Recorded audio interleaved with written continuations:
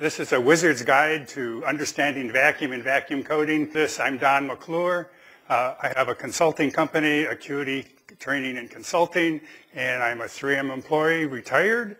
What our objectives are is to learn about vacuum and vacuum coating, but also to have fun. And I think uh, most people who have done, saw this presentation have, have had fun. We'll use tabletop demonstrations.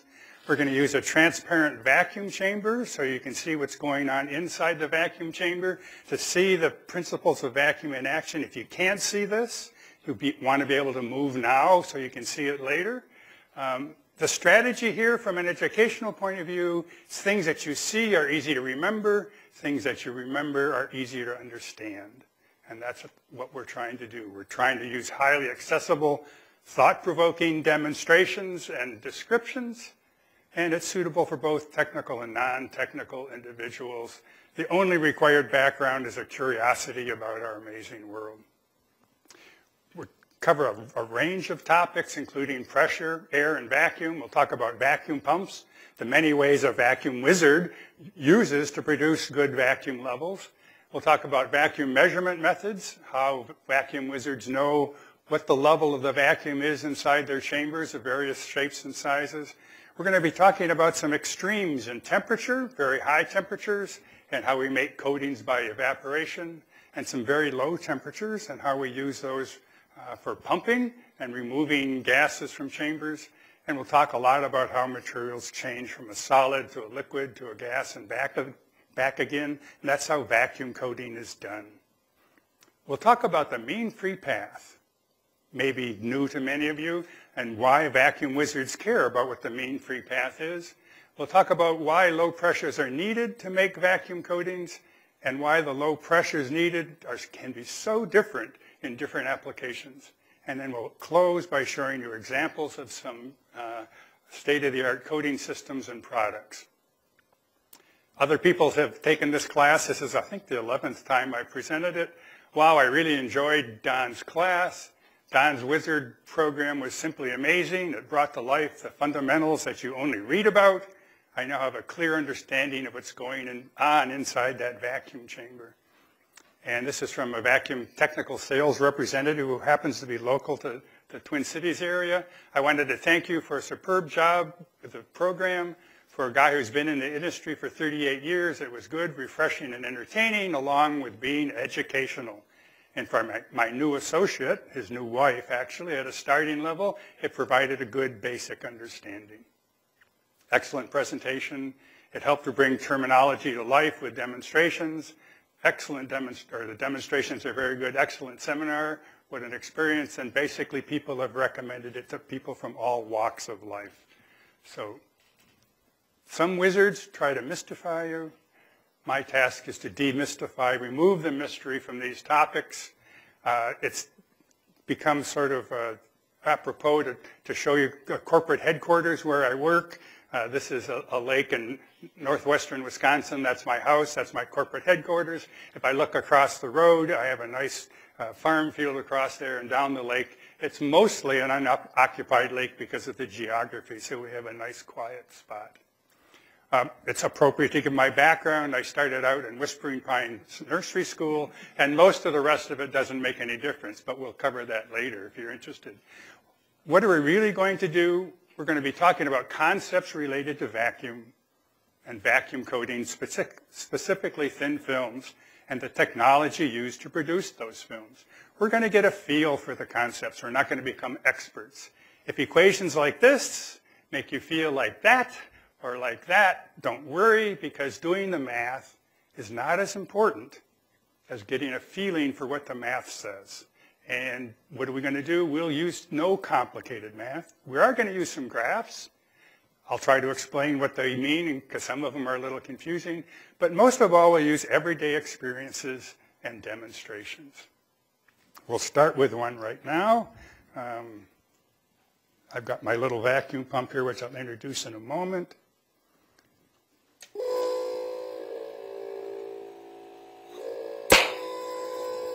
So now I, that snap was a rubber membrane being broken by the vacuum, and we're going to use that and come back and talk about that a little bit later in more detail, but I just wanted to get your attention. Vacuum is not part of most people's ordinary everyday experience. In fact, Aristotle said nature abhors a vacuum. And so many of us think of vacuum incorrectly, wrongly. So before we talk about vacuum, we need to talk a little bit about air because in fact vacuum is the absence of air at some level. So what is air? I need some help from the audience. What is air? Gas. It's a gas? It's a mixture of gases? Uh, what is air made out of? Nitrogen? Nitrogen? Oxygen? Water vapor. There's the actual standard atmosphere for any of you who happen to be interested. And the water vapor varies. Today it's, or yesterday it was really high. This afternoon it's supposed to be low and delightful. And why is air important? You need it to breathe. What else? How about combustion? How about hearing? We'll give you a demonstration of why you need air for hearing as well. Does air have weight? Sure, air has weight. How much does it weigh?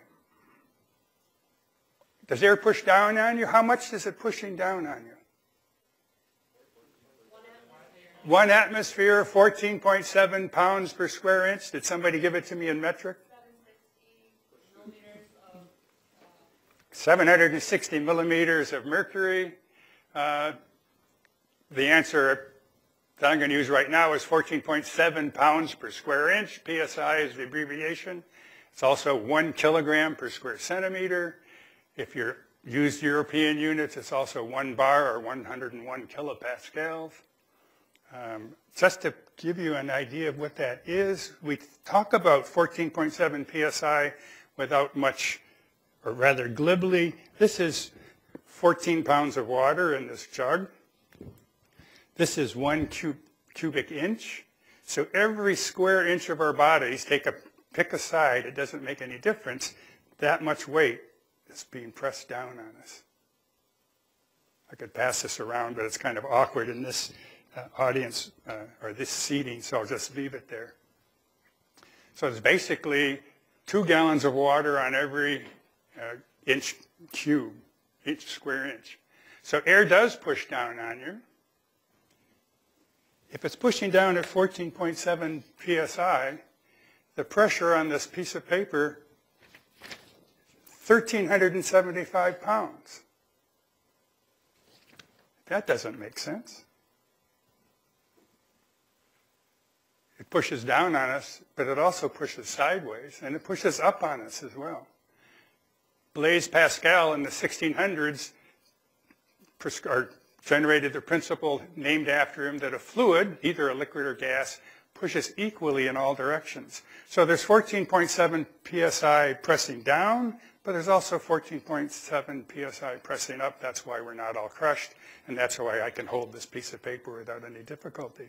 But in fact, you can show that it's pushing sideways if you hold it gently and pull it, it'll take it right out of your hands.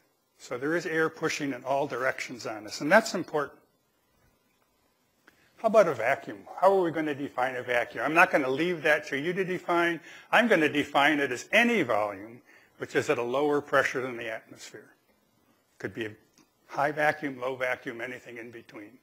A familiar vacuum effect is the inner ear pressure you feel going up in airplanes or elevators up or down. It's because the air pressure outside is changing faster than the air pressure in your inner ear, and you feel that pressure. Pressure differences are also vacuum differences by our definition of vacuum today. So a vacuum. I contend that it's the first activity that you performed on your own. You inhaled as soon as you came out of your mother's womb, and that's a, generating a vacuum by expanding your chest cavity and drawing air in from the atmosphere, your first breath. Drinking through a straw is a vacuum phenomenon. I'll show that in a minute. Water pumps are use vacuum. Atmospheric pressure, 14.7 psi. We've talked about that, one kilogram per square centimeter. There are some other units there, 760 millimeters of mercury. Heard about that. 30 inches of mercury, 30, almost 34 feet of water, just because water is less dense than mercury, or 10 meters. One of the interesting things, we talk about atmospheric pressure. Pressure is a force per unit area, but here we have units of length to describe a pressure. That comes from a barometer, which was invented back in the 1600s. We'll talk about that story in just a minute. Remember, Aristotle said, nature abhors a vacuum. So gonna, we have a story about Galileo and Torricelli to introduce the barometer. About 300 BC, Aristotle deduced that a vacuum was impossible. Remember, Aristotle did science at a time when experiments, you just don't do experiments. It's what you deduce by thinking. For many years, scientists followed Aristotle's lead, agreeing that a vacuum could not exist. Nevertheless, craftsmen demonstrated pumps that use vacuum in spite of these views. So science doesn't always get it right. These pumps consisted of a tube with a movable disc inside. When the disc was withdrawn, water flowed into the tube. If the water did not flow into the tube, Aristotle's forbidden vacuum would have formed. So far, everything's still consistent. But in the 1600s, Galileo learned an interesting thing from workmen about these water pumps. They displayed a peculiar weakness. They could raise water to about 10 meters, 30 feet, but no more. Galileo found it curious that nature should abhor a vacuum for 10 meters and then simply stop. He assigned this problem to his new assistant. Uh, unfortunately, Galileo died very shortly thereafter, but that did not stop his assistant, Torricelli, from producing a vacuum using what we now call a mercury barometer. This was the first demonstration of vacuum known to science. I just want to demonstrate how a water pump works in case you haven't thought about it. it works the same way as a syringe. I have some uh, cola beverage here. If there's a, basically there's a cylinder inside the tube, and you know how it works, but I just want to demonstrate it. When I pull up on the cylinder, oops, let you see it there. It draws the beverage into the syringe, just like a water pump does, except water pumps may be larger, more automated.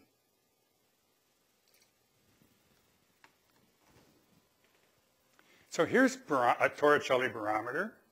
You take a glass tube, has to be longer than 760 millimeters, fill it up with mercury, put your thumb over it, turn it upside down so the open end is underneath the surface of the mercury, take your thumb away, and the weight of the atmosphere, oops, the weight of the atmosphere presses down on the pool of mercury here, and the atmospheric pressure supports just 760 millimeters of mercury.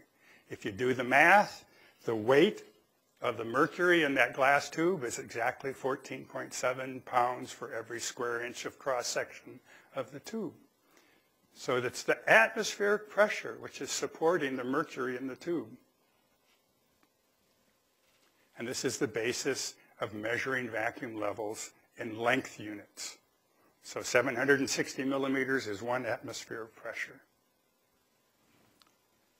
Just to make sure we make it very clear, I've got a straw here. I can draw the beverage into my mouth. I just said that incorrectly. We say that commonly, don't we? We say we sucked on the straw. We create a partial vacuum, and atmospheric pressure does all the work of forcing the liquid up at the straw into my mouth. If you do that on the shuttle, it doesn't work. Or the space station, we don't have a shuttle anymore. On space station, it doesn't work because there's not enough gravity to force the fluid back up the straw. It's atmospheric pressure, just like in the barometer, that's letting the liquid, forcing the liquid up into the straw. Torricelli said it very well. We live submerged at the bottom of an ocean of elementary air, which is known by incontestable experiments to have weight. This was back in the 1600s. As an aside, Torricelli also gave the first scientific description of the cause of wind. He said that winds are produced by differences of air temperature and hence density between two regions of the Earth. Air pressure is caused by the weight of the air pressing down on the Earth. Earth's gravity causes the downward force we know of as weight, and the measured pressure obviously therefore depends on the amount of air above the point at which we're making the measurement. So a question, what would happen if I carried a barometer up a mountain? I hope for this audience most of you know. Pascal did that experiment back in the 1600s. In fact, he was smart enough to have his brother-in-law carry the, do the hard work of carrying the barometer. It actually carried three barometers up the mountain in case they made multiple measurements, doing good science, doing experimental science at the time. And of course, three mercury barometers weighed a bit, so uh, his Pas Pascal stayed down here at the bottom. And as you go from sea level, where the atmospheric pressure plus or minus is 760 millimeter, depending on the weather outside, as you go up the mountain, as you suspect, the pressure decreases until at the top of a 3,000 meter mountain, the pressure is dropped to 690 millimeters. And that's simply because the atmospheric pressure is lower not as much air, not as much weight to push down on the mercury so the measured barometric pressure is lower. What I find remarkable about, about that, they didn't have the internet, they didn't have telephones. This was done five years after Torricelli's barometer was invented. Remarkable progress. In a different country, by the way. So again, that, just to re-emphasize that, the straw and the orange soda or the cola, the pressure exerted on the surface of the cola reservoir by the atmosphere is what supports the weight of the column of soda in the straw. It's not, I'm not actually doing the work. It's the atmosphere that's doing the work. So I want to introduce my vacuum system to you real quickly. Uh, we have it here. It's a vacuum pump donated by Varian. We thank them for that. I have an, a switch to turn the pump on and off here, and I have a valve here which I can either connect to atmosphere here to vent the system or to the, the gauge and to the plumbing here. And so I'm going to do a quick demonstration. This is just a water bottle. Talk about recycling these days. I'll turn my vacuum pump on. This gives you a readout of approximate pressure. It's good as it up here where the uh, vacuum pressure isn't too high, and this gives us a better reading we get low. It's not calibrated this morning. I apologize for that. It should read 760 millimeters. It usually does. So when I open the valve to let the pump connect to the bottle, that's an expensive way of crushing a bottle, but it works very well.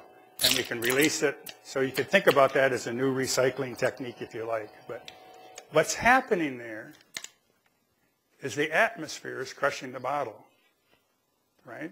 We remove the air from the inside so the pressure inside is lower and the atmosphere crushes the bottle. If I did this in space with a vacuum around it already or no gravity, nothing would happen because there's no force around the, the bottle. It's important to note that the pressure exerted on the surface of the orange soda by the atmosphere supports the weight of the column. So even if I formed a perfect vacuum, atmospheric pressure can only push the orange soda to about 10 meters, 34 feet. This is because the column of water that high exerts the same pressure as the gas molecules in our atmosphere. That's why the craftsman told Galileo, or Galileo found out, that water pumps only work to about 10 meters. That's as, as much as the atmosphere can do. I have some suction cups here. By now you should be able to tell me how suction cups work. We have atmospheric pressure on either side of these suction cups. In order to pull them apart, I have to create a vacuum inside, as long as the seal on the edges works, right? I know what the size of these suction cups is. You need 110 pounds of force to pull these apart. Only one attendee has ever pulled them apart. I'll give you, I'll, you can pass it around just to demonstrate what that feels like. I don't give out notes for this course. In fact, if you're interested and you leave me an email address, I'll send you a PDF of all the presentation slides. But I do that because this is more of a demonstration, a performance rather than a class. And Socrates said it well, education is the kindling of a flame, not the filling of a vessel. I want to get you excited about the concepts, get you to appreciate the concepts, rather than just have you take copious notes on everything. But if you are taking notes, know that you can have a copy of the presentation later. Another guy from back a ways was Otto von Guericke. He was the mayor of Magdeburg in Germany back in the days when politicians were also scientists and philosophers and inventors. And he invented the first vacuum pump. His major scientific achievement was the establishment of the physics of vacuum. And here's a etching portraying one of his demonstrations.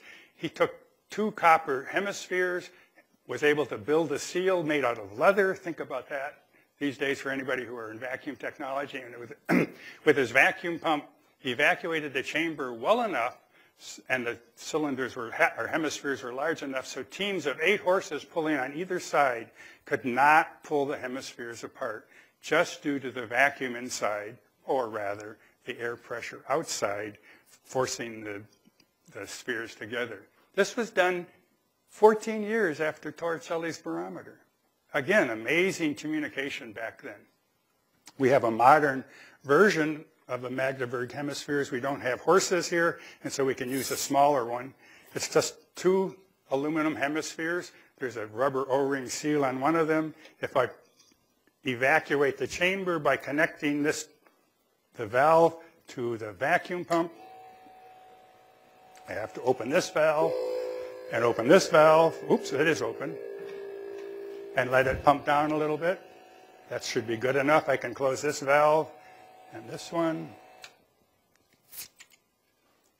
And now there's, can't pull it apart. There's a couple hundred pounds of force would be needed to pull these apart. But as soon as, that, because air pressure is forcing them together, as soon as I let air into the chamber, no force at all. So I'm hoping I'm convincing you that it's air pressure is doing all of this work for us. And this is just a demonstration of a uh, on a small scale of a historic model. Easier. So atmospheric pressure, the air around us exerts a pressure on everything. Um, got several demonstrations I wanted to show you. Let's see, yes. So we're going to do this one again, except I'll do it more carefully, and I hope hopefully you'll be able to see something here. We're going to use the atmosphere to draw or force this rubber sheet down the tube, I can pull it down a little bit by shutting off the vacuum. So I remove, reduce the pressure a little bit there. If I pull it down more, it goes further. And finally, depending on how it, it, will, it will pop most of the time. So it's just air pressure pushing down on the rubber sheet. When it fails, it's actually a sonic, small sonic boom because the rubber relaxes or comes back to its position faster than the speed of sound, and you hear that snap, which is really uh, a, a small sonic boom.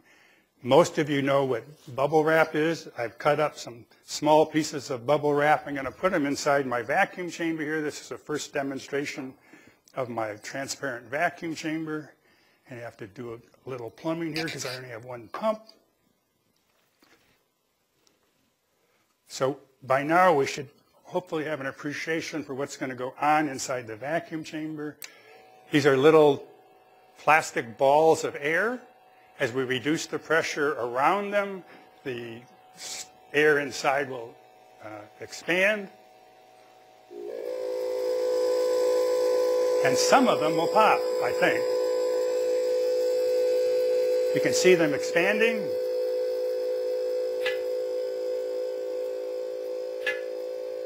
Like popcorn. We'll talk about popcorn a little bit.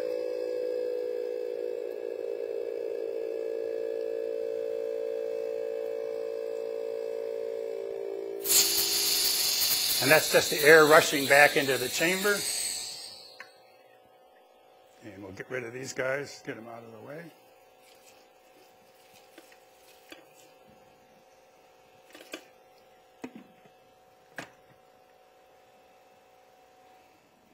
I also have a pair of suction cups here, just like the ones that were passed around. what's going to happen now if I put these suction cups in the vacuum system and pull a vacuum on it? Let's see if I can get this set up properly. If we remove the atmospheric pressure forcing the suction cups together, they should come apart.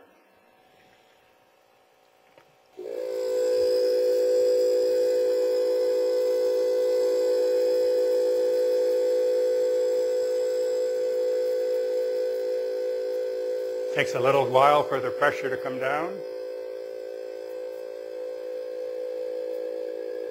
I can see that the suction cups are expanding a little bit.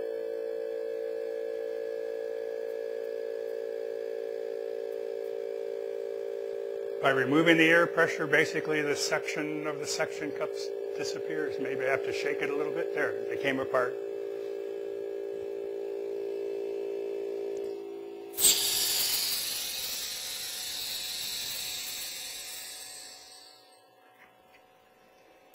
So a lot of the things we take for granted, uh, I hope are illuminated better now. And again, just to reinforce one more time, if I draw on the straw, atmospheric pressure is doing the work. There's no such thing as suction. So the air exerts a pressure on everything around us, also partly determines the weather, barometric pressure, and atmospheric pressure with the weather and the wind and forces. This is basically an aside. Differences in air pressure cause wind. Air at high pressure moves to regions of lower pressure. Hurricane force winds are greater than 75 miles an hour or 120 kilometers per hour. This can occur when the differences in pressure are about two inches or five centimeters of mercury. For an example, Hurricane Katrina 2005 devastated southwestern Louisiana and Mississippi with winds up, up to 120 miles per hour, and the barometric pressure difference causing those winds was only 2.7 inches of mercury. That's because small differences in pressure over very large areas can generate enormous forces. So we've talked about taking a barometer up a mountain and uh, recognizing that the pressure goes down as you go up in altitude. And so here we've plotted, or not plotted, but given you a table. So at sea level, we have 14.7 psi. I've labeled that 100%. If you go to Denver at 5,000 feet, the next line, that's about 83% of the atmospheric pressures we have at sea level. The first time I did this presentation, we were at, did it in Denver, and my wife and I hiked the day before in the mountains and got up to over 10,000 feet where there's 69% of the air pressure.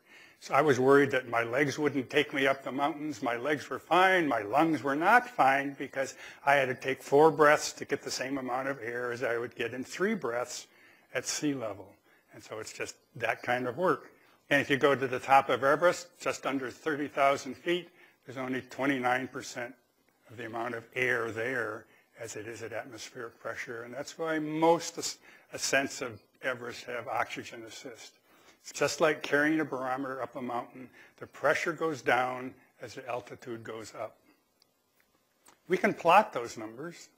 In fact, this is a plot of exactly those numbers. The altitude in feet at the bottom of the graph, the altitude in meters at the top in case you uh, live in a metric world, and here's the relative pressure being plotted from 100% uh, down to something like 30 some percent. And if we can, we can extend that to almost any altitude we want, and that's what the pressure looks like as we go up in altitude.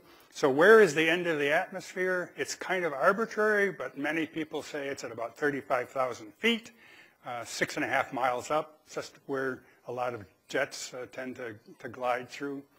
To give you an idea, we are, we are very dependent on that atmosphere. We think of it as going on forever, but here's some images from NASA of the, our globe. The size of the atmosphere, that's 35,000 feet, the bar on the plot there is 100 times the, the height of our atmosphere. That little speck is 10 times the height of our atmosphere. So while we think of the atmosphere as being going up forever, it's a very small fraction of our world, only a quarter percent of the Earth's volume is its atmosphere. We are dependent on that atmosphere for breathing combustion and hearing, as we said earlier. The boiling point of water changes with pressure because the boiling point definition is where the uh, vapor pressure of the liquid is the same as atmospheric pressure. So the boiling point in, in Fahrenheit on the right side of the curve are plot the boiling point in centigrade units on the left side and the pressure across the bottom. So what you see is at 760 torr atmospheric pressure, the boiling point is the familiar 212 degrees Fahrenheit or 100 degrees Celsius centigrade. But if we go a mile high in Denver, the pressure is lower, so it takes a lower temperature to raise the, the, the, vapor pressure of the water to get to the atmospheric pressure. And so the, the boiling point is something like 204 degrees Fahrenheit, uh, 96, 95, 96 degrees Celsius. If you go hiking in the mountains, it's still lower. Reducing the pressure reduces the boiling point. So what happens if you're cooking potatoes or rice or beans in boiling water in Denver? What do you have to do? The boiling point is lower. You, take, you, you have to cook it longer. This is the same data, exactly the same. I've just switched the axes, so now I have temperature along the x-axis and vapor pressure along the y-axis going up. And again, at 760 torr, we have 212 degrees Fahrenheit. I'm doing this very deliberately, and we can see that it comes down just as we showed on the previous slide. Uh, as we go to lower pressure, the boiling point goes down. Now I'm going to do a mathematical trick, and I'm going to change the the axes to logarithmic axes. If, oops, I have one point here is the boiling point definition is the temperature where the vapor pressure equals the atmospheric pressure. I'm going to change the axes to logarithmic. If you know logarithmic uh, mathematics, you don't need an explanation. If you don't know it, my explanation isn't, I don't have enough time to explain it, but basically it allows us to compress the axes dramatically. So this is exactly the same data except now on a logarithmic axis. So this is 760 right there, and this is uh, 200 right there. So that's that point on the end. And I do this deliberately because I'm going to shrink it again so that there's three decades of pressure here and two decades of temperature here. And that's the same data up there now compressed still more. And you say, why am I doing this? Is because later on in the presentation we're going to look at a lot of slides, or several slides, with lots of data that have curves that look like this. These are vapor pressure curves of gases and the elements. And we see that they're going to be important for some of the things we want to understand. And this is just to give you an introduction to where those curves come from. We'll take a look at those later. So when we think about high altitude baking, these brownies were very good. We baked them at atmospheric pressure, but on the back of the package it says uh, high altitude. There it is encircled, and that's what it says right there. It, it changed it. You change the recipe for high altitude baking.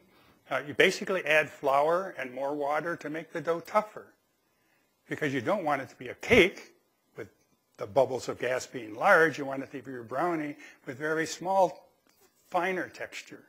And if you don't make the batter tougher, you'll get larger bubbles because you're at lower pressure in Denver than you are at atmospheric pressure. We can demonstrate that. Uh, Marshmallow Man here will give up his life for this demonstration. Um, we'll put him in the vacuum chamber and recognize, of course, that marshmallows are just uh, sugar and gelatin formed into uh, bubbles. And so if we uh, turn on the vacuum pump and evacuate the chamber. Those bubbles will expand.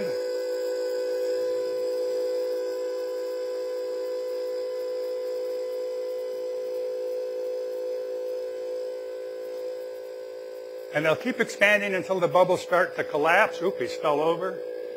And then it'll actually start shrinking because some of the bubbles will collapse. But of course, if I let the atmosphere back in, they collapse more dramatically and you're a very sophisticated audience. If I do this with kids, and I've done this many times with kids, they all want the crushed marshmallows to see if they taste different. They don't, but there you go. They're just more concentrated sweetness. And we can do the same thing with shaving cream as well.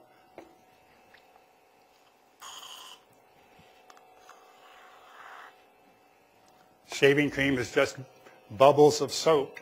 So by now you should have an appreciation already for what's going to happen. The bubbles of soap will expand. And I could let this go, but it'll make a mess in my vacuum chamber. So I'll let it go for a little bit. And it will, if I really let this go, it'll keep growing and spill over. So I'm just going to stop it. I think you've got the point.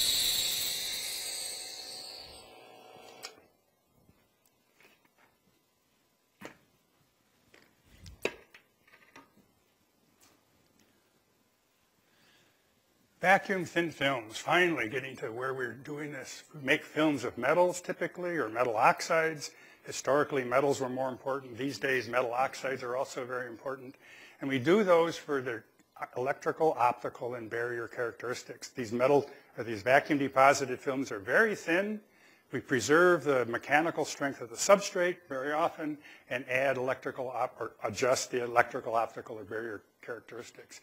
So these are some vacuum thin films, uh, types of coatings on the left and applications on the right. You can take a look at that. I'm not going to read that to you, but while you're looking at that, I'm going to plug a heater in that I need for a later demonstration. I think that's the right one. Yep, should be good. Lots of applications for vacuum thin films. Uh, they're actually quite ubiquitous, although many of us are not aware of them particularly.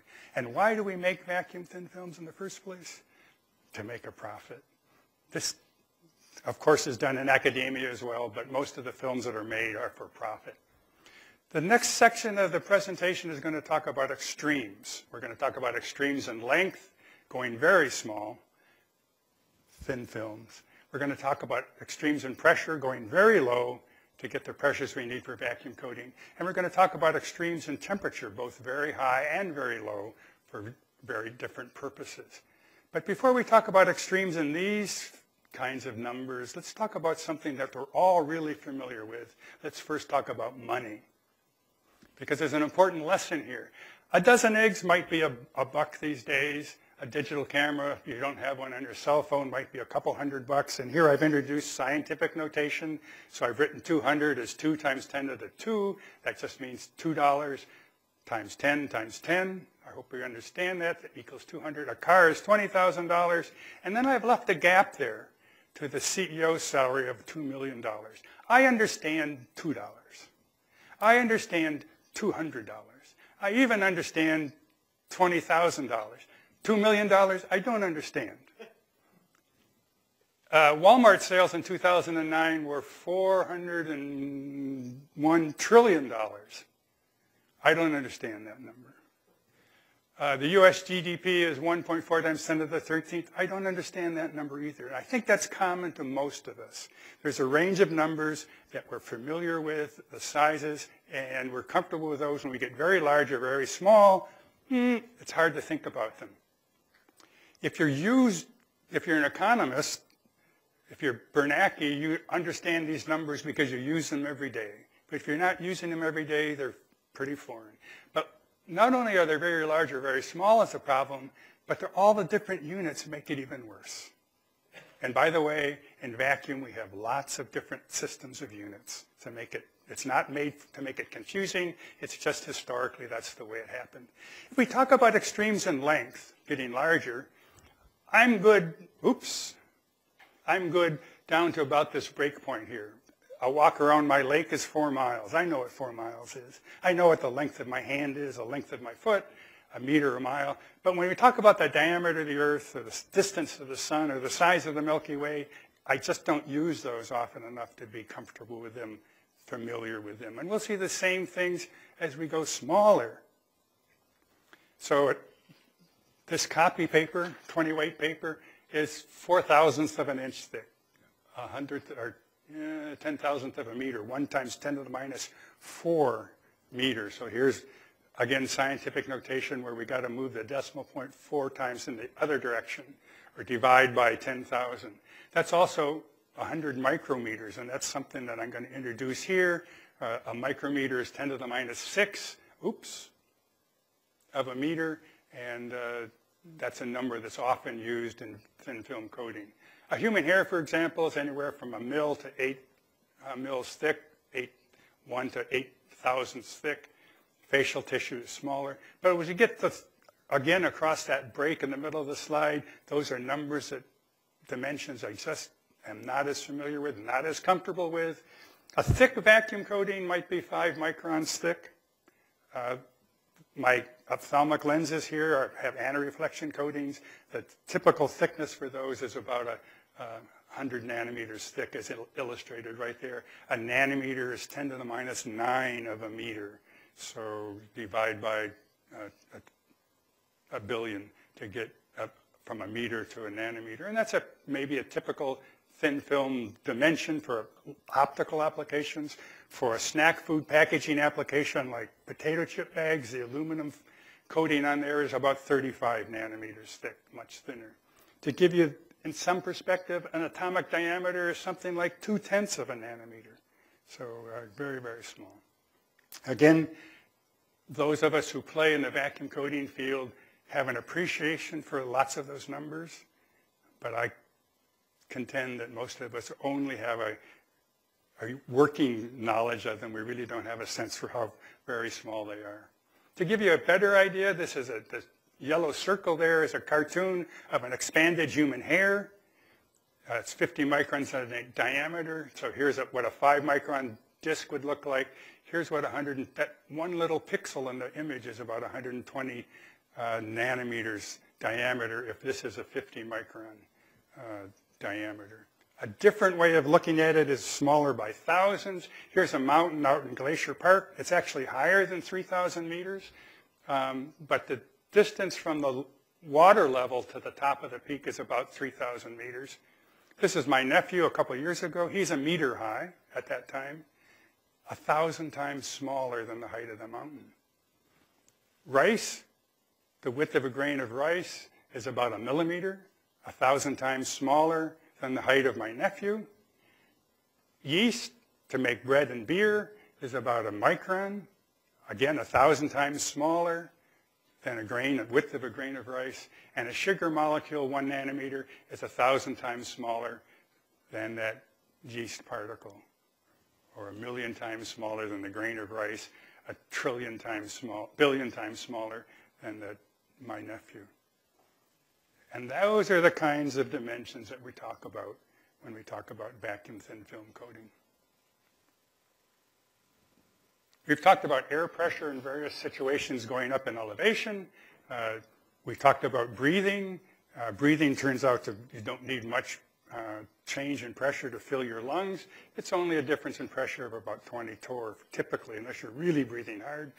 I sucked on a vacuum gauge one time and got it down to 500 torr. I'm told that their people could get down to 300. I have not, I've not been able to do that. Maybe a horn player, I'm not sure.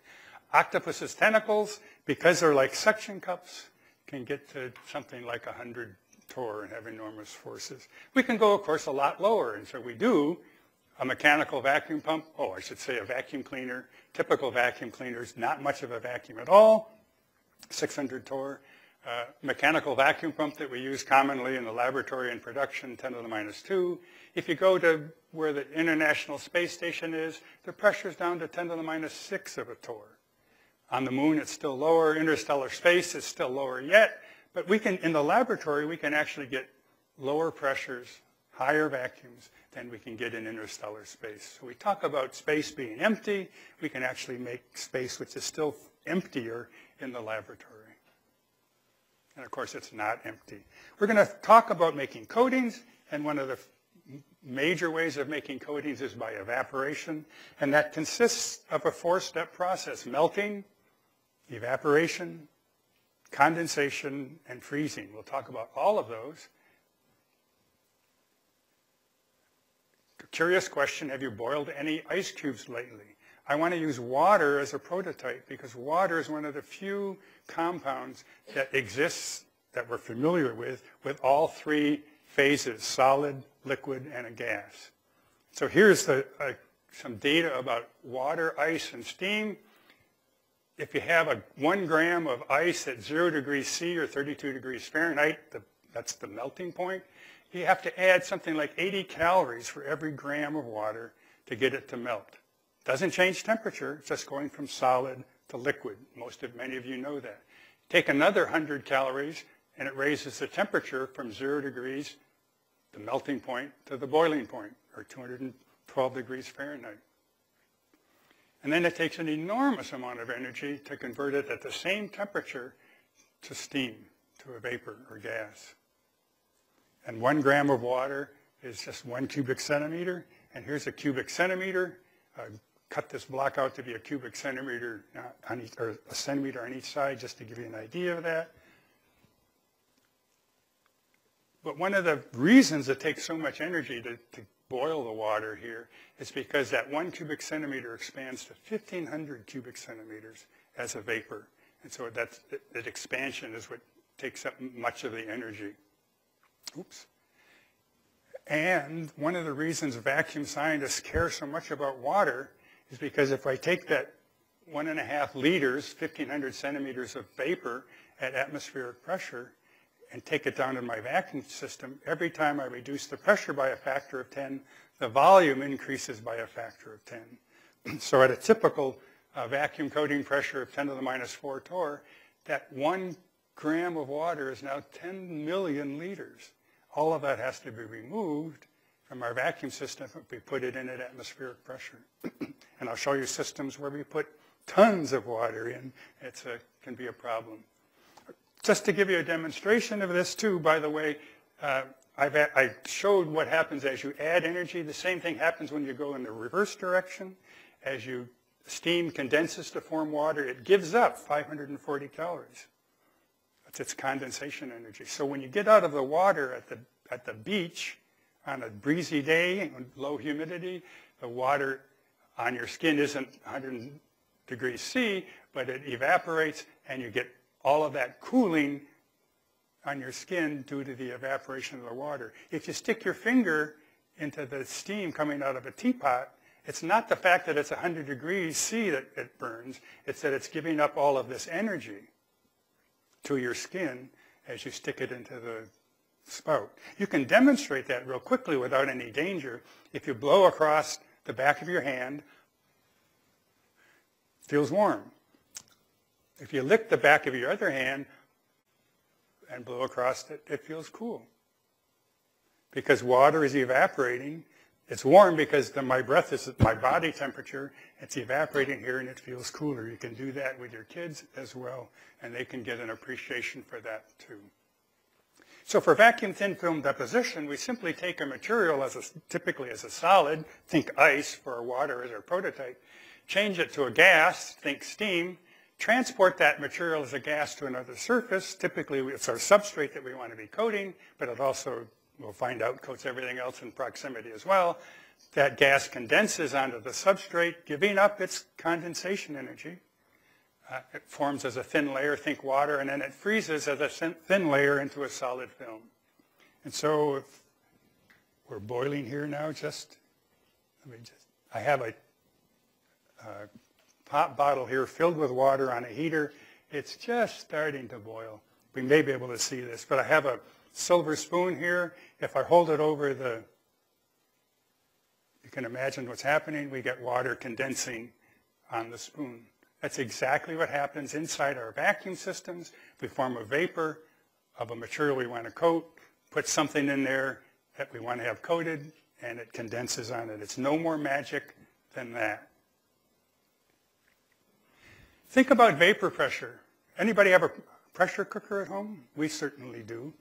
The reason pressure cookers work, if there's a sealed chamber, you put water in, put it on the heat, you get higher temperature, then you can get the water above 212 degrees Fahrenheit or 100 degrees C because you have high pressure inside the cooker and you can cook things in moist heat and at higher temperatures so you can cook them faster. Think about the sense of smell, vapor pressure. We can't smell solids or liquids. The only things we smell are gases and vapors.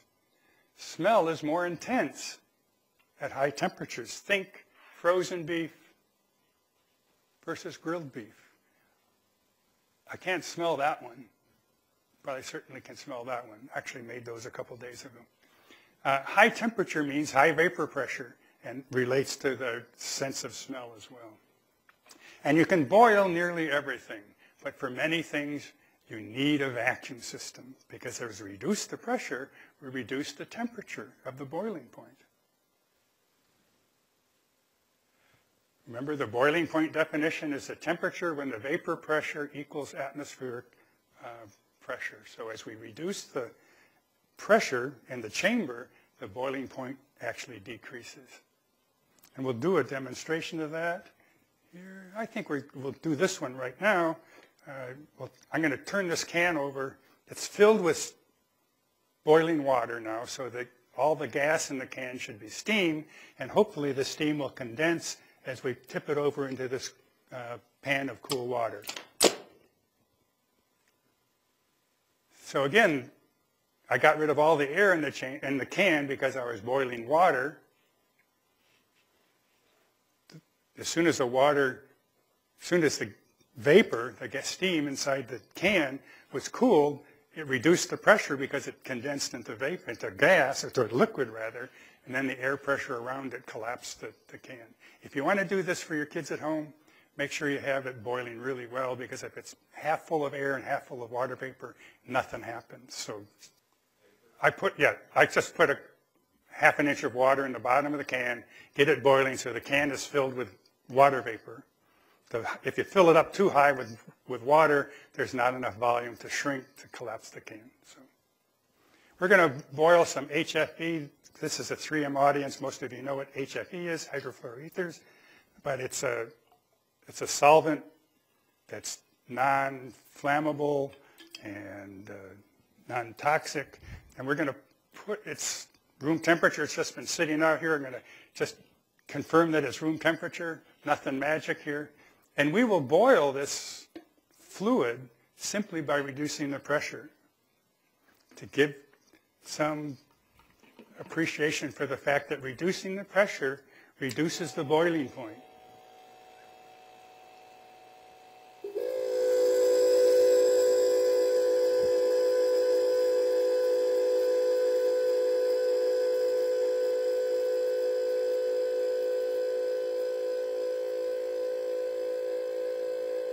Its normal boiling point, I think, is around 54 Celsius. There it is starting to bubble.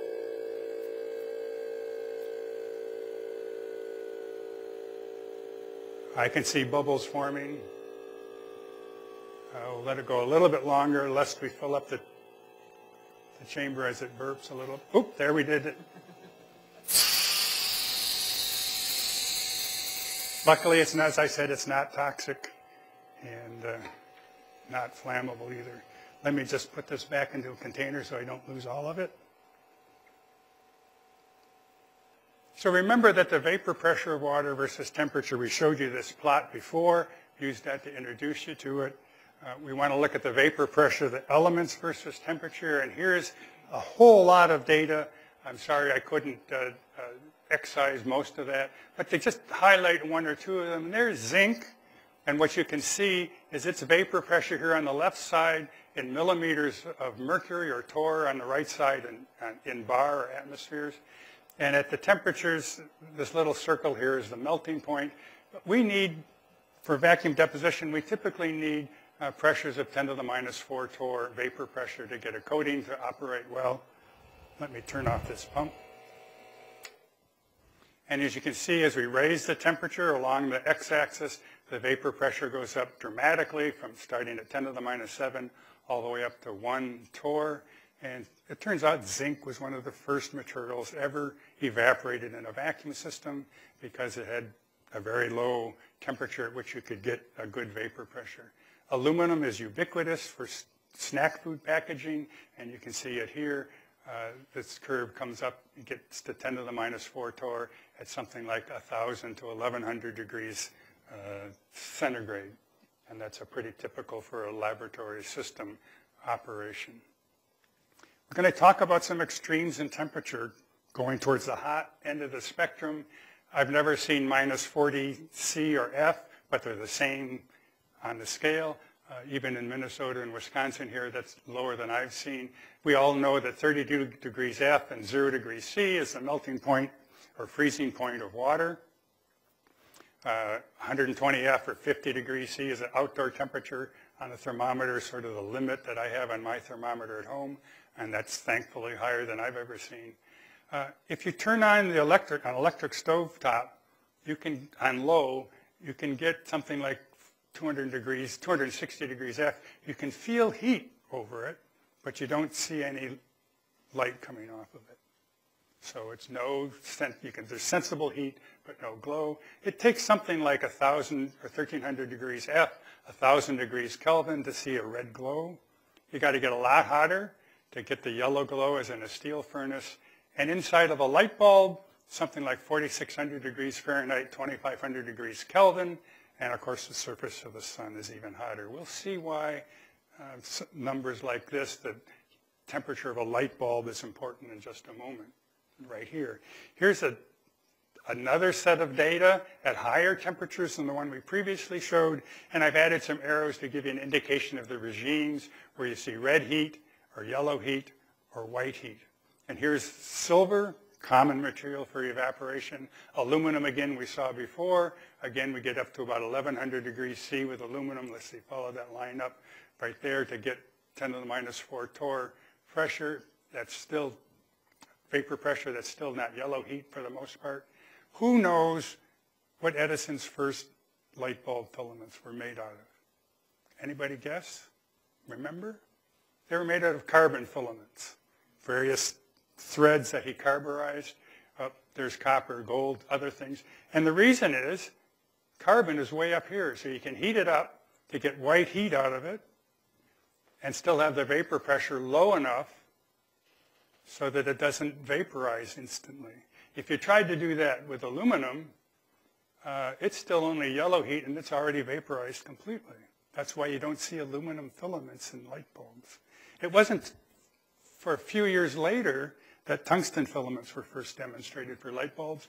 And it's clear from this chart why tungsten is preferred, and that is it takes much higher temperatures before it gets to a vapor pressure in which it'll evaporate, and so you can get white heat efficiently from a tungsten filament without it evaporating, so it lives longer than you can with a graphite or carbon filament.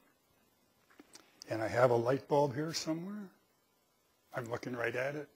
I bought a clear one so you could see. You can come up and take a look at it. It's got a fine filament inside of it, and uh, it's just a tungsten filament wound into a helix, so it can uh, have more surface area for that heat.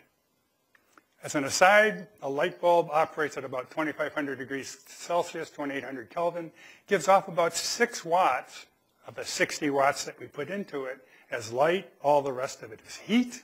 That's why we're replacing incandescent bulbs with fluorescents because, and LEDs because they give off more of the energy we put in with as light and less as heat. To compare that, a 60 watt candle operates at lower temperature, only gives off about 3 watts of heat, or excuse me, 3 watts of light and 57 watts of heat. So if you want heat, a candle's good, but if you want light, uh, stick with incandescence and fluorescence preferred. The efficiency of an incandescent bulb would increase with higher temperature, but it would burn up much more rapidly. To give you a real sense of how important vacuum is for developing the vapor pressures of these various materials, here's the melting point of aluminum in various uh, units of temperature, anyone you can prefer, Celsius, Kelvin, or Fahrenheit.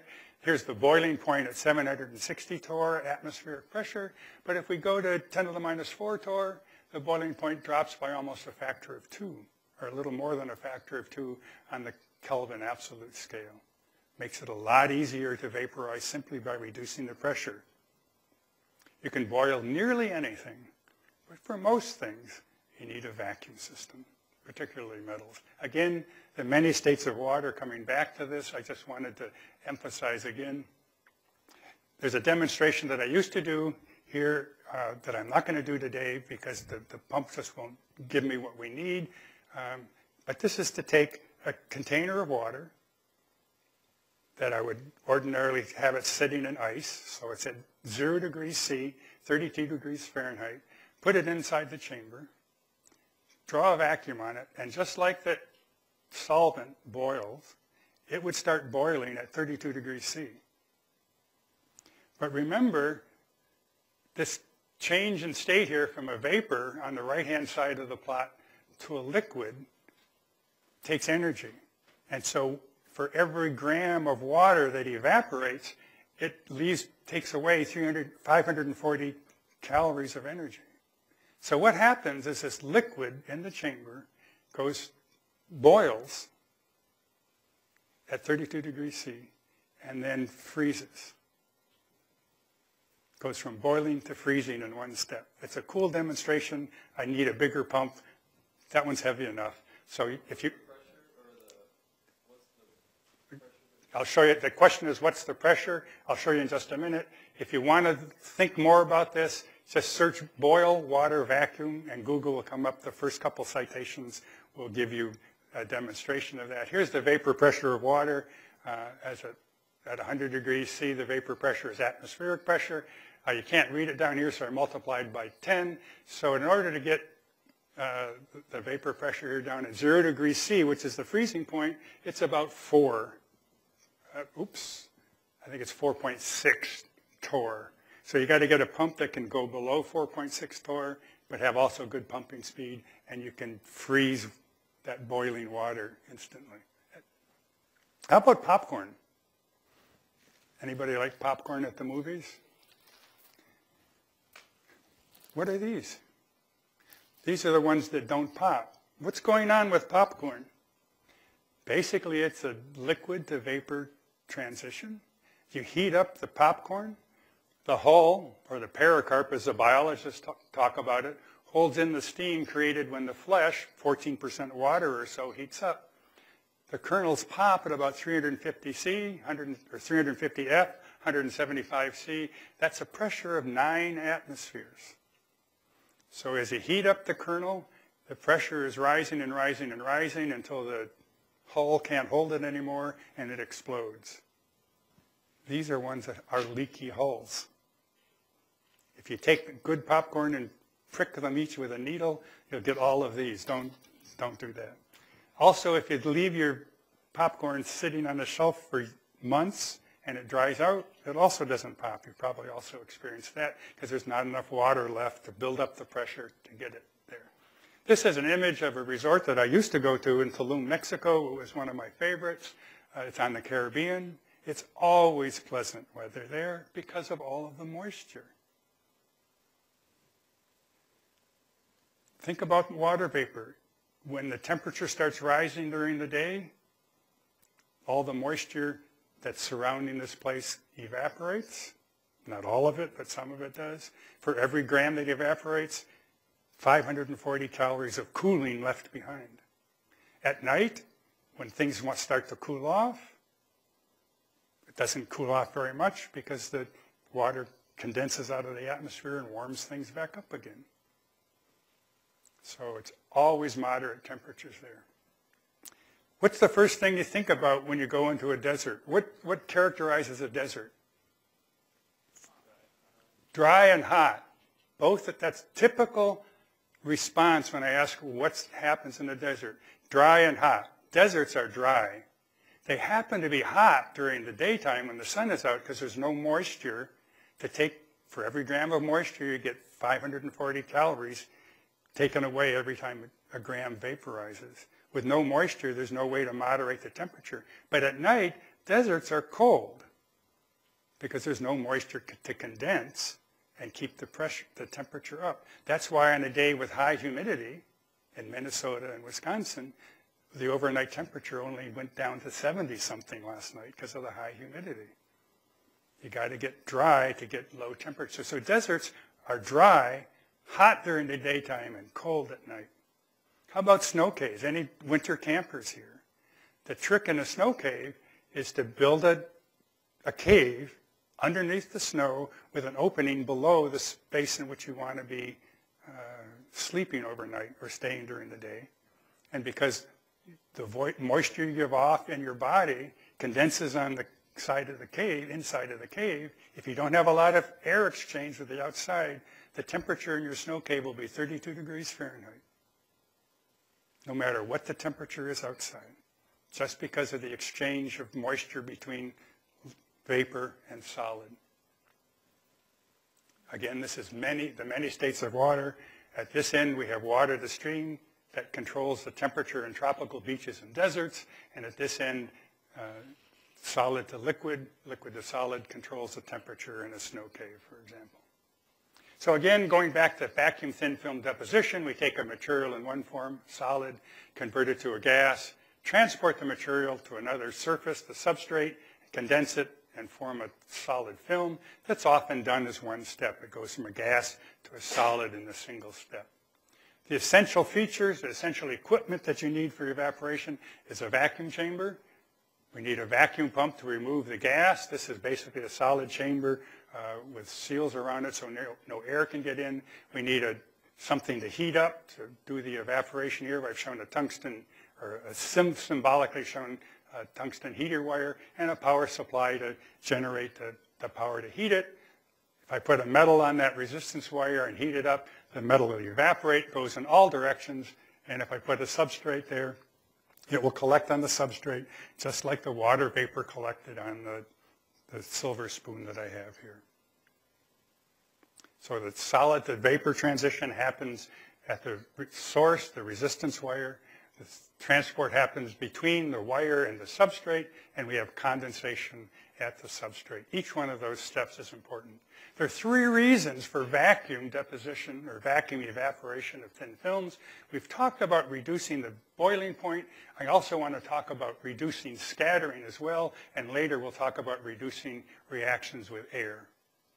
So at low pressures, if we heat up a container or vessel of something that can vaporize, we um, convert it to a gas, it gets transported to the substrate, and we're fine, the vapor condenses on the substrate. This cartoon is an exaggeration. We don't have a gas flame inside of our vacuum systems, but I use that to illustrate heating.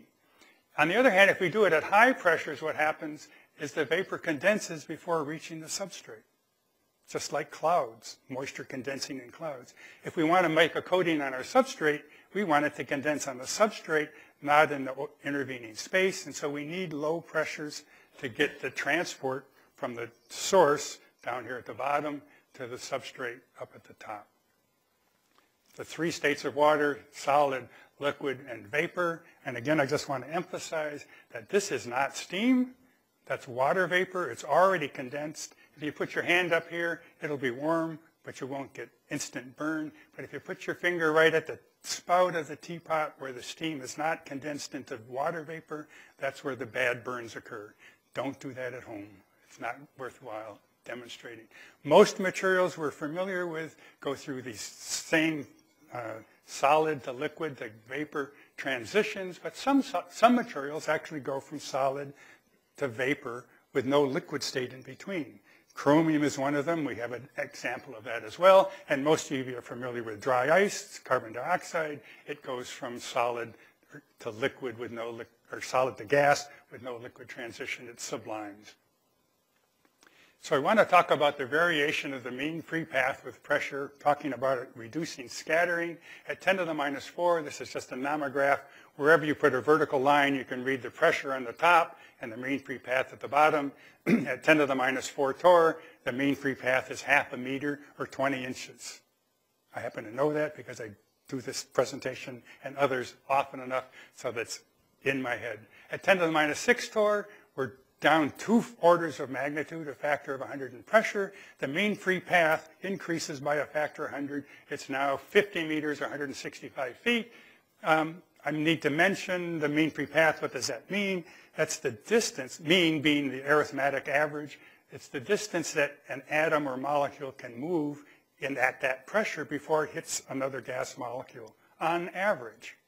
So on the average, if we generate a gas molecule at 10 to the minus, oops, 10 to the minus 4 torr, it can go 20 inches before it hits another gas molecule. Okay? And so in our vacuum systems, uh, typically we have spacing like this, maybe like this in a roll coater, which we'll talk about later. We can get transport between our source and our substrate without any collisions, and certainly at 10 to the minus 6 torr, which we have in many of our laboratory vacuum systems, uh, it can go all the way across the chamber without hitting anything. I want to emphasize again this notion of reducing scattering. Sound is transmitted by scattered as a compression wave scattering of gas molecules off one another. I have a buzzer here that I'm going to hook up to a, a power supply and makes a lot of noise, so I'm going to disconnect it here for just a minute. And as I remove the gas from the vacuum system, we will see that the sound disappears. And we don't have to get very low before the sound disappears, simply because there's no gas. The mean free path now becomes the size of the chamber. We don't have any way to transport the sound from the source to the walls of the chamber and into the gas that's in our atmosphere here around the room. And here's my plug and the other end of my cord. Here it is. And so I, excuse me, you can probably hear that. If I put that on, put the lid on top, cuts out some of the sound just because of its physical barrier. But as I remove the gas from the chamber, it'll be more effective when I turn the vacuum pump off and we let the atmosphere back in because the pump is making enough noise to mask what's going on in here. But as the pressure gets lower, the sound is decreasing.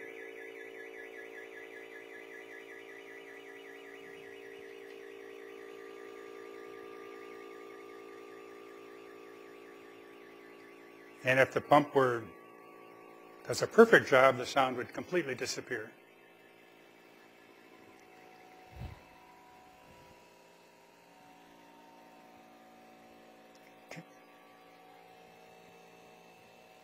I can still hear it, but I suspect that most of you can just barely hear it, or maybe not at all. But if I, I'm going to stand still so that the mic can pick this up as I let the air back in. There's some air.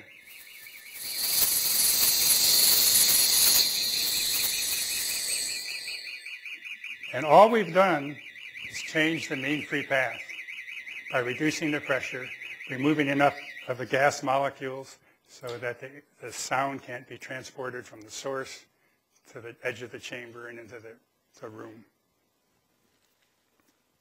And we need to do that in our vacuum systems for vacuum coating so we can transport the material we want to condense on our substrate to the substrate from the source. My dog is too smart to howl at the moon. He says it's pointless because in space no one can hear him bark. A vacuum, no sound. If movies were true to life, space movies would be a lot like silent movies. There would be no air in space, and so sound waves are virtually absent.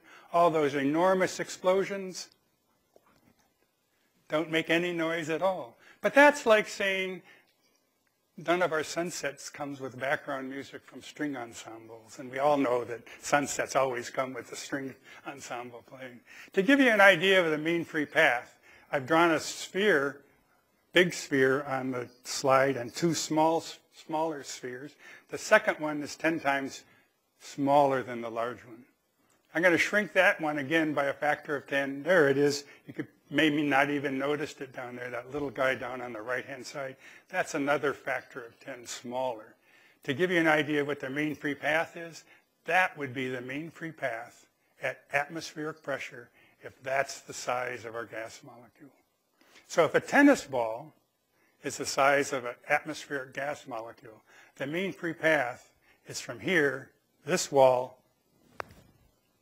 oop, all the way over to that other wall. I didn't throw it quite far enough. It's 38 feet. We think about, scientists think about gas molecules in the atmosphere bouncing against each other at ferocious rates. And yet, the mean free path is huge at atmospheric pressure. What's going on here? It's because the average gas velocity, the velocity of the gas molecules is 850 miles an hour. So yes, indeed, they are colliding at ferocious rates, but most of the gas around us is empty space because the mean free path, size of a tennis ball, is almost 40 feet. I hope most of you can appreciate that that looks like a candle. We're going to do another demonstration here. Some, what happens if I put a candle inside my vacuum system? It'll go out. Actually, that's not the interesting part.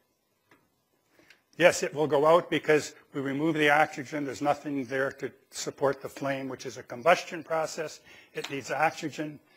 Let me put this in here and see if we can get this set up so it'll be seen on the slide.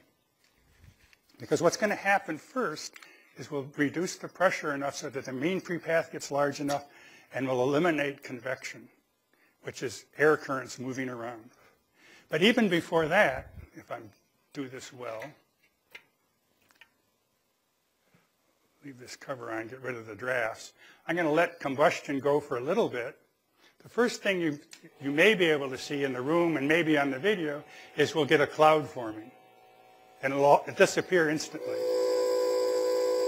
Or not so instantly. That's the water vapor, which is the product of combustion condensing as we reduce the pressure. Oops, I went too far. I'll have to do it again. So the cloud is just the water vapor condensing as we reduce the pressure. As we reduce the pressure, the gas expands. As gas expands, they cool. We'll see that more in a, in a minute. Now I don't need to wait so long.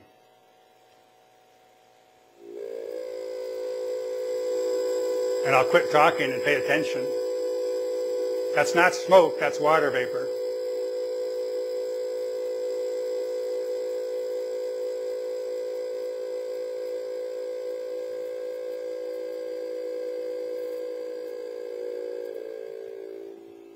Ah, almost caught it. It gets spherical just before it goes out. That's because there's no, there's no longer enough gas inside the chamber to support convection. The shape of the candle flame is because the hot air is rising. If you remove enough air so there's no convection, hot air no longer is rising, because that's what convection is, and the flame becomes spherical. That's the normal shape of a flame in the absence of convection. That was actually an experiment on the space shuttle. Not in a vacuum, but in zero gravity. There's no convection either. So that's what the candle looks like. That is an image from NASA to give you a better view of what you might have been able to see here. Except that one cost $5 million. Because the last thing you want on the shuttle is a fire. Because there's no place to run. so, um, and that is an image from NASA. So we talked about temperature uh, versus altitude. We talked about the fact that as we reduce the pressure, the temperature goes down. Uh, you can see this is a standard atmospheric plot. Temperature on the left-hand side, Celsius on the right. This is Fahrenheit on the left. As you go up in altitude and space, uh, we start out at something like 60 degrees Fahrenheit on a particular day. As you get up to the edge of the atmosphere, it's down to almost minus 70. That's simply because you're reducing the pressure and gases cool as they expand. So here's an image across the street from my home, my corporate headquarters. Some nice clouds. As warm air rises, it expands and cools. The water vapor condenses into water droplets, eventually to ice crystals. Gravity causes these droplets and crystals to fall, causing rain and snow. When we pump down our vacuum systems, the gas expands and cools. I ask the question, does it rain inside your vacuum system? And my answer is, if you don't do something special to avoid it every time, it rains inside your vacuum system. It might be only momentarily like it did here, uh, but it's something in semiconductor technology, they do quite elaborate stuff to keep that from happening. Talk to me later if you need uh, more information. When we return, we'll talk about making uh, vacuum thin films, reducing the reactions with air. We've talked about reducing the boiling point and transporting the, uh, increasing the mean free path so we can transport things. We'll talk about measuring vacuum levels, producing vacuum, and some examples of vacuum thin films and the equipment to make it. In case you're interested in who I am and where I come from, there's something, we don't need to read it, but it's there. And three reasons for vacuum evaporation of thin films. We've talked about reducing the boiling point. We've talked a little bit about reducing scattering and we'll talk a little bit more about that, and we'll talk about reducing the reactions with air in just a moment. So what I'm going to do now is demonstrate how a neon tube works, and if we get the lights down a little bit, what we have here is simply a, a clear uh, plastic tube, if I can get untangled here, connected to my vacuum system.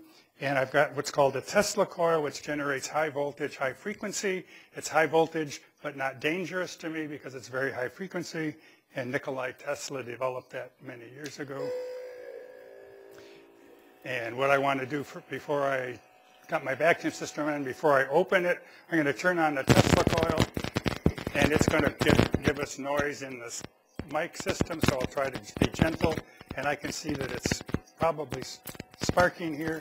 And as I reduce the pressure, could we have the lights down a little bit? Thank you.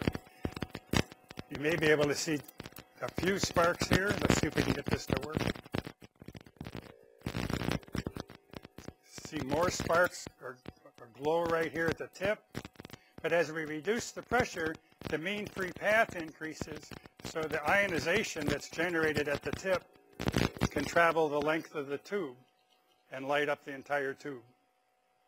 And that's simply changing the mean free path. As I let air back into the system, it extinguishes the glow. It's still high voltage right here. We're still, I can see the little sparks at the tip.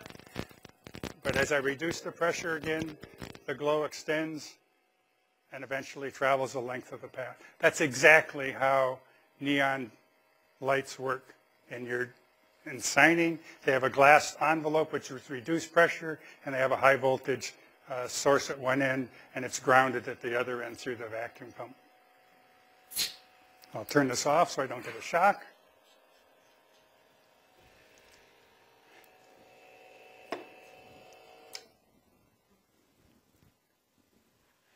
And we have neon lights. These are the characteristics colors of the five rare earth gases. And you get mixtures of colors by mixing those together and adding other things. And you can get almost any color in the rainbow that you would like to have out of neon lights operating basically the same way.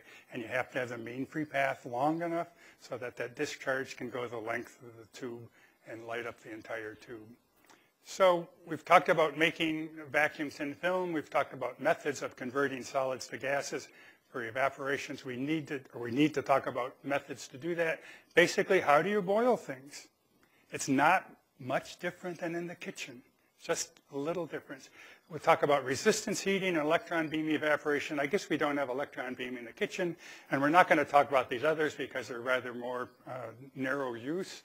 But for resistance evaporation, just think of a kitchen toaster. On the left, it's in the off configuration. On the right, it's in use. It's hot. It's basically a resistance wire. You put current through it. It heats up and cooks everything in the environment. And we do the same thing for resistance evaporation in a vacuum. Here are some images from R.D. Mathis Company. They're courtesy of them. Those are tungsten wires, almost every one of them, in various shapes and geometries The scale at the bottom gives you an idea of what size they are. Here is a tungsten wire basket that's been used to coat gold. There's gold remaining on it. Please don't take it. Gold's worth a lot, but not that much. This is aluminum, has been used for aluminum. This one has been used for silver. And basically all we do is we take these wires, put an electrical connection at each end, just like your toaster, put current through it, heat it up. We can get it as hot as we need to evaporate any of the materials that we want to evaporate. Just like we saw on the chart to give us an idea of what those might be like. We talked about chrome as a material that sublimes. This is a wire, tungsten wire with chrome electrodeposited on it, and it basically heat this up. It doesn't melt, it just simply goes from solid to liquid. When we're using one of these, or something like this, it's a tungsten wire. When we just put some chips or hairpins of silver or aluminum or gold in it, it wets the tungsten wire. It doesn't drip down like water would when it forms a liquid. Uh, it just wets the wire and then evaporates off the wire from a liquid state. Our wire heaters are no different than what's in a, a light bulb, tungsten material. You can see that it's a little thicker than a light bulb.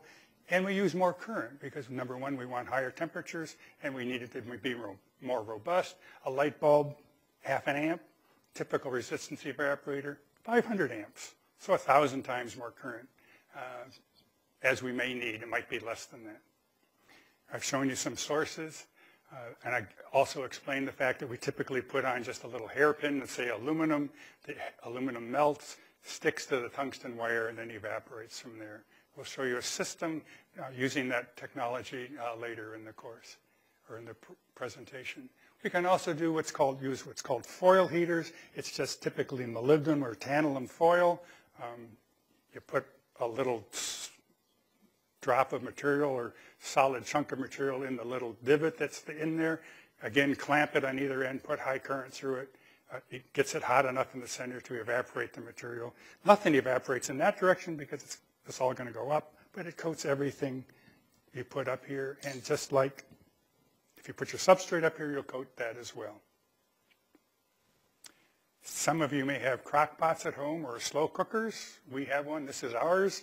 It's the brand name's rival. It's called a crock pot. Maybe other people call it slow cookers, but oops.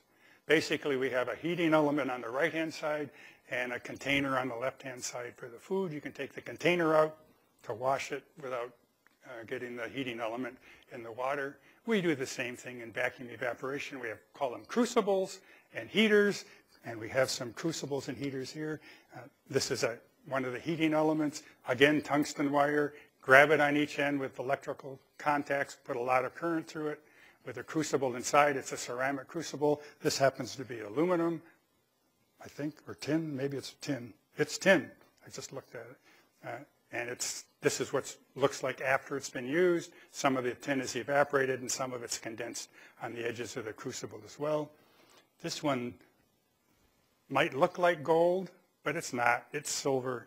Uh, it's just that silver oxidizes to a gold color uh, in this in this configuration. So it's basically a crucible and a heater, just like the crock pot liner and heater itself. We showed you the sources. Another kind of source that we use especially for aluminum, is a ceramic bar. Again, you just clamp onto each end, put a ferocious amount of current through the ceramic bar. It's an electrically conductive ceramic, electrically resistive ceramic, so as you put current through it, it heats up, and aluminum is placed into the little trough on the surface. And in fact, the way it's done is a continuous wire is fed into the system as it's being evaporated. This is what's used for making potato chip bags, the aluminum coating in potato chips bags, and other things as well. Here it is in operation. It looks almost, it's yellow heat. We can get a guesstimate of what the temperature is if the color for the image uh, were accurate, and I'm not sure that it is or not. And you can see the aluminum wire feed coming in down, excuse me, from the right-hand side of the image, feeding down onto the surface, and it basically, uh, the aluminum is leaving just as fast as the wire is being fed in, and that's how the rate is controlled. Also, electron beam heating is used uh, quite a bit in the laboratory as well as in production for the, the, lenses that I have on. It's almost certainly done by electron beam evaporation. This is a simple cartoon of a way that doesn't work, but it's a way that was first demonstrated for electron beam heating. We have a tungsten filament in the upper left-hand corner with an AC source uh, supplied to it, something like 6 volts, 100 amps, gives you a, a nice white-hot filament.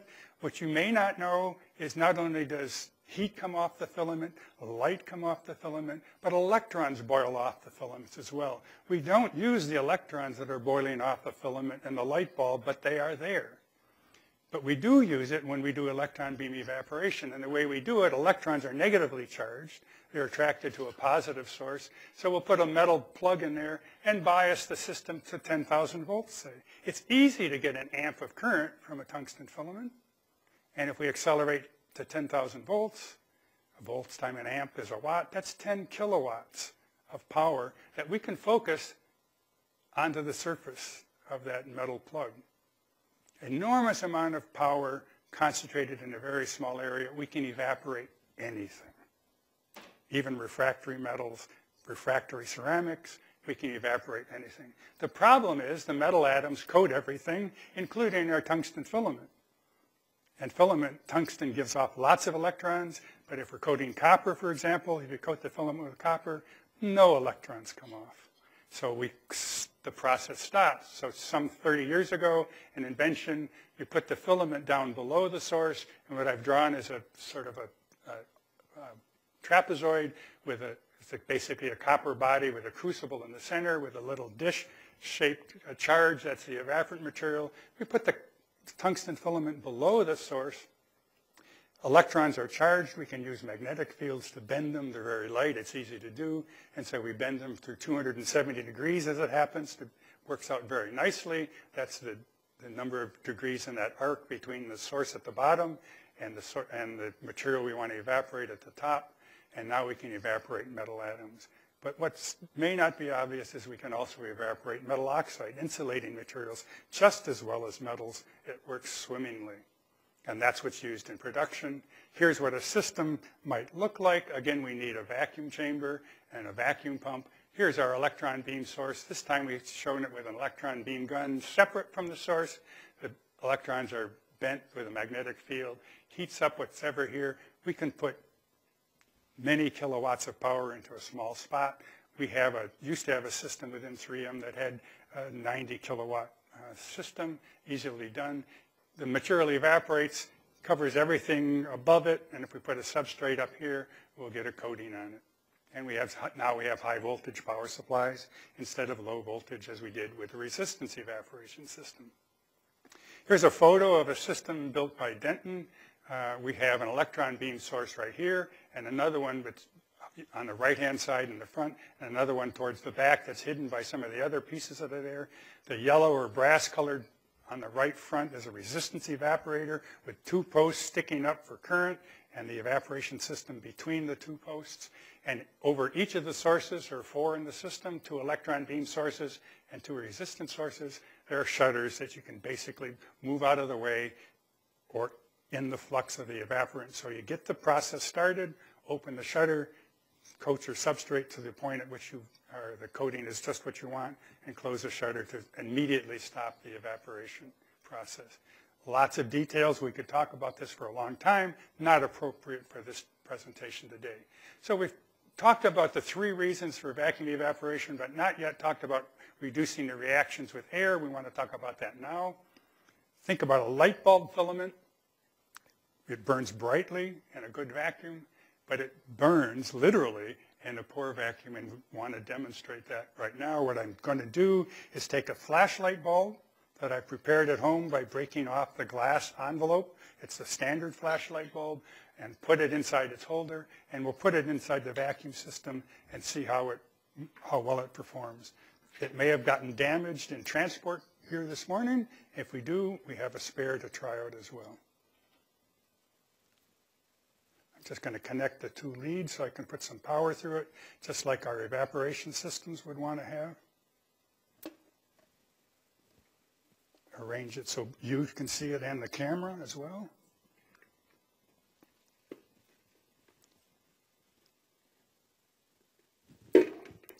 I'm going to want to pump down the system first.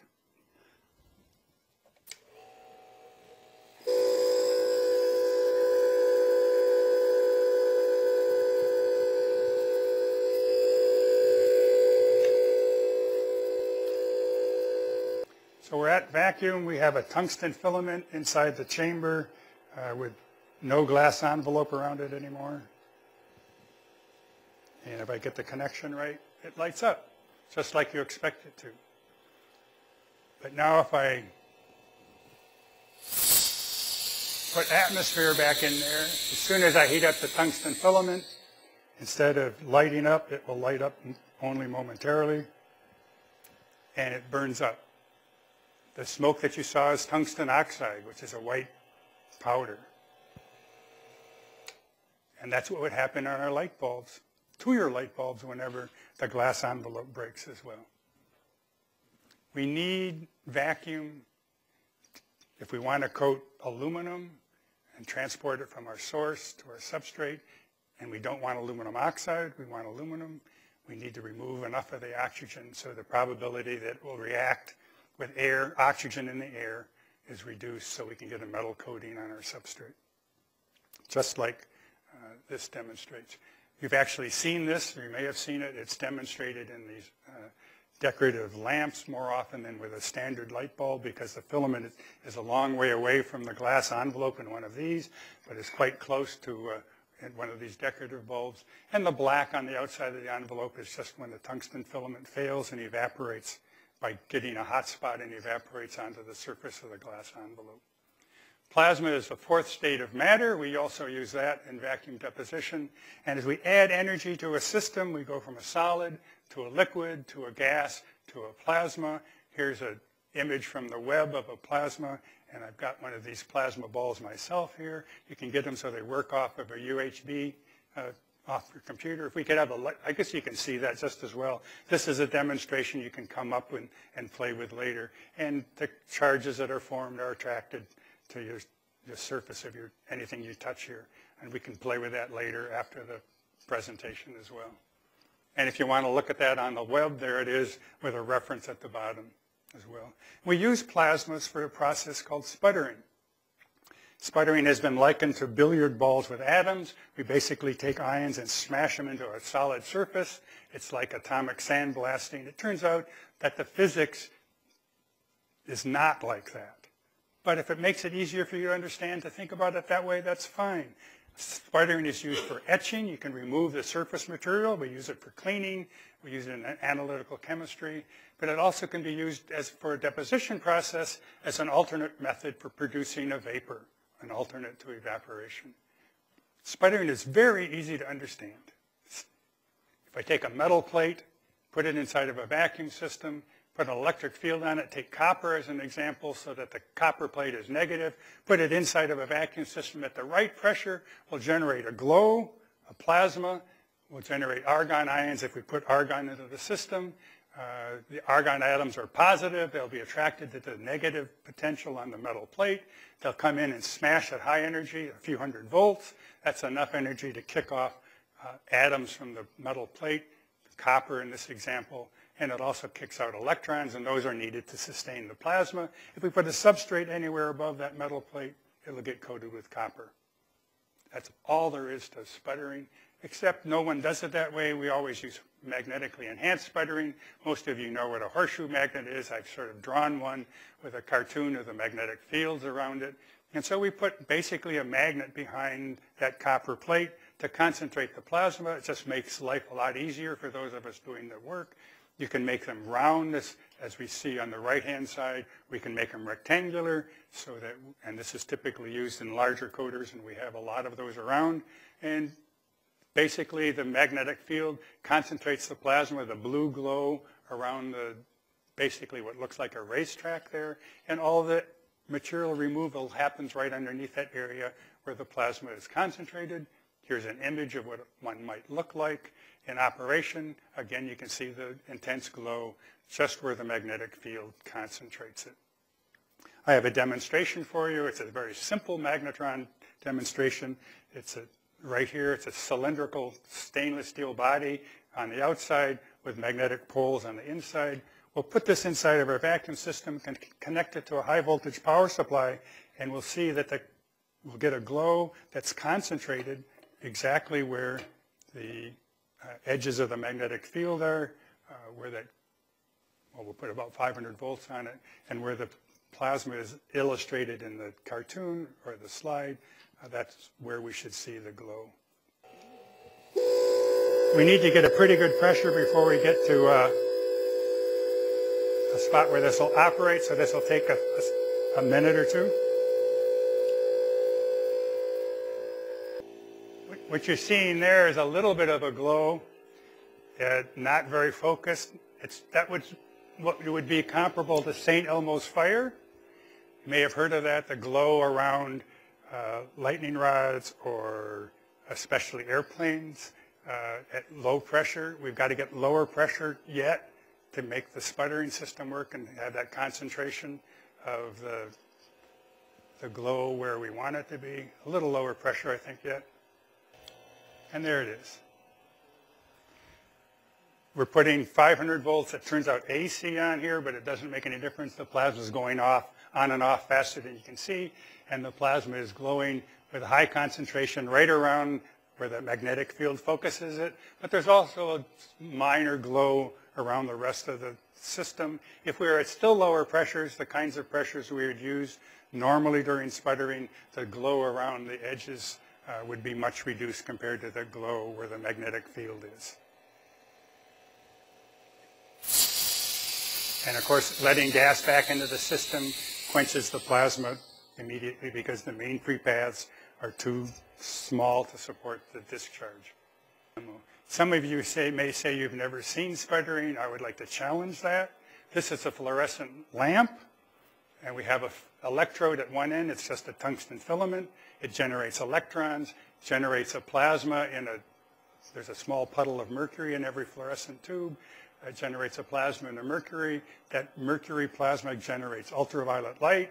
There's a phosphor on the edge of the surface of the tube that converts the ultraviolet light to visible light. The different colors of fluorescent lamps are just different phosphors. The plasma stays the same. But what's happening, if you now look at the uh, process, we've got a tungsten filament at high voltage. Same kind of sputtering process occurs, not, not magnetically accentuated, but the sputtering of the tungsten filament eventually leads to failure of the fluorescent tube. If you look at a germicidal lamp, it's a quartz envelope rather than glass, and there's no phosphor because a germicidal lamp wants the ultraviolet light from the plasma directly. And in a germicidal lamp in operation, you see not only the glow along the length of the tube, but also an intense glow on the tungsten filament because it's being bombarded by the plasma at every cycle as well. And so eventually what happens is tungsten gets sputtered onto the glass envelope and colors the end of your fluorescent tube, and that's what a fluorescent tube light looks like often at the end of life. I call this a green fluorescent lamp. It, that's not your eyes making uh, bad measurements. That's a red fluorescent lamp, and you'll see many more of these in the future because environmentally green fluorescent lamps have reduced mercury in them in order to have less mercury contamination at the end of life. But mercury is consumed in a fluorescent lamp because it gets embedded into the glass and doesn't always come off. So at the end of life, you may get to the end of life of the mercury before the plasma extinguishes. That's the color of the plasma without any mercury left in the lamp. This was actually taken in a nearby building, the one that I work in. We've talked about vacuum levels, atmospheric pressure down to very, very low pressures. We've seen this plot before. We've talked about the enormous changes in mean free paths, the enormous changes in gas density. We'll talk about the ways to generate these and the ways to measure these pressure levels at, at the various ways as well. Think about first measurement of the vacuum, thinking about the idea of a Bourdon gauge. This is a party favor. That's exactly how a Bourdon gauge works. By changing the pressure inside of a tube, I can make the tube expand. And I think I have an image of a Bourdon gauge here. Make the, by changing the pressure inside the tube, it's this semicircular tube on the right-hand side of the left image. It's actually, a, it's not a solid piece, it's a tube that's connected to the pressure connection at the bottom and to a a, a gear mechanism at the upper left, and by changing the pressure inside the tube, that semicircular device opens and closes. The gear mechanism causes the dial to move. And that's actually an image of this gauge right here. You can come up and look at it after the presentation if you're interested. And just the slight movement of the, the uh, tube here gives you quite a dramatic movement through the mechanical connection to the needle. The Bourdon gauge was invented in France, 1849. John Ashcroft, no relation to the John Ashcroft we know today, in 19, 1852 went to France and got the license for the Western Hemisphere. Very important development. Can you imagine why people were interested in measuring pressures in the mid-1800s? What was the normal use of power. Steam was where power came from in the 1800s. The most dangerous job in a steam plant is the guy who had to tend the boiler because before 1850, there were no gauges on the boilers. He had to maintain the pressure by eye, if you will. This made it much safer and really allowed the expansion of steam power to become as ubiquitous, ubiquitous as it did by the end of the century. So Ashcroft had the license. In fact, this gauge is still made by the Ashcroft Company. There it is on the legend as well. If you go to France, they're Bourdon gauges, or Europe, but here they're Ashcroft. Played an important role in the widespread use of the steam power. You can also think of a capsule gauge. Uh, if I take a, by now you should know if I take this balloon and put it inside my vacuum system, the balloon is tied off at the end. Let me get rid of this guy. What's going to happen to it as I pump down the chamber? There's gas inside the balloon. As I pump down the chamber, as the pressure goes down, the size of the balloon increases. Shouldn't be a surprise. That's basically how a capsule gauge works, except we don't use rubber balloons because they're not uh, very durable. And as I you see it more dramatically as I but basically use the fact that a, a, small chamber with gas inside of it will change its volume as the pressure changes. And what a capsule gauge looks like is something like this in a cartoon. We have a flexible metal um, container. Uh, at higher pressure, uh, it expands. At a lower pressure, it contracts. And we have one of them right here you can take a look at. This one's actually gotten kind of beat up, but it's basically a brass uh, dish, uh, quarter inch, of, eighth of an inch apart, sealed together, connected to a gas feed at this end, and by expansion, you can see there's a little needle in here that's connected uh, to a mechanism that drives the, the gauge itself. No more complicated than a balloon inside of a vacuum system, but more reproducible.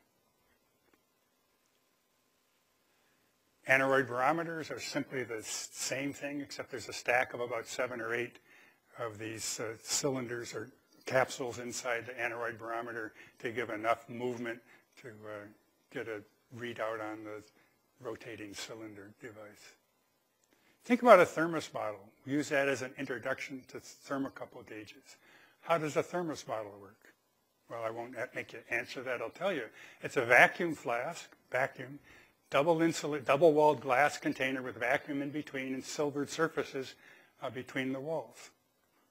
The vacuum is to reduce conduction and convection, and the silver surface uh, reflects radiant heat. What happens if you have a crack in your thermos bottle? If you lose the vacuum, it's no longer a thermos bottle. It's just an ordinary container. It no longer retains the heat because it doesn't, you now have convection and conduction through that uh, gas layer that's there. And basically, it's the same principle when we have a thermocouple gauge. It's simply a wire inside of our vacuum system. Uh, we heat up the wire and measure the temperature of the wire with a thermocouple connected to an external meter. We put constant current through the wire. Uh, as the pressure goes up, there's more gas molecules bouncing against it to take the heat away. The wire gets hotter. We just develop a calibration curve between the temperature of the wire and the pressure that we want to measure. It's a rough approximation, but it can do very well uh, for intermediate pressures, as we'll see. And it turns out that um, thermocouple gauges are pretty uninteresting. If you open one up, and I have, all there are are two very tiny wires inside, smaller than a human hair. So if you look at it, there's really nothing to see, just basically uh, wire connected in four different places as it shows there, plus and minus and the two meter connections. So I don't have one opened up because there's not much to see. But when we think about gas phase heat transfer, it's important to realize that different mechanisms occur at different pressures. We've got pressure plotted along the x-axis here. And at all pressures, we have radiation. If something gets hot enough to radiate infrared or visible light, heat can be taken away that way. We have conduction, that's gas molecules bumping against each other uh, in the intermediate pressure range and higher, but at something like 10 to the minus 3 torr, conduction ceases because there's not enough gas molecules around. And at much higher pressures, uh, say above 1 torr, maybe 5 torr, we have also convection, which is actually the mass movement of air, and so that's a, a different mechanism as well, flow of current of hot air to areas of cold air. So thermocouple gauges really work in this intermediate range. They don't work at high pressure and they don't work at very low pressures. And those of you who are in the, in the field know that that's to be true. There's also 30 or 40 years ago, people had developed convection gauges, which worked over the whole range from 10 to the minus 3 up to an atmosphere. And one of the, I just put this as an aside, one of the fourth reasons for vacuum evaporation is we can get things very hot inside of our vacuum chamber, but we don't have any conduction or convection, so our chamber walls don't get enormously hot as well. Just a benefit. Just to think about this again, at high pressures, if we have a hot uh, body at the left-hand side illustrated in red, we can think about heat transfer occurring through molecular collisions by one molecule picking up heat as it collides with that hot surface and, and transferring heat to another molecule. So that we can think about that as working. But at very low pressures, heat transfer becomes very inefficient because there are no molecules around to carry the heat away.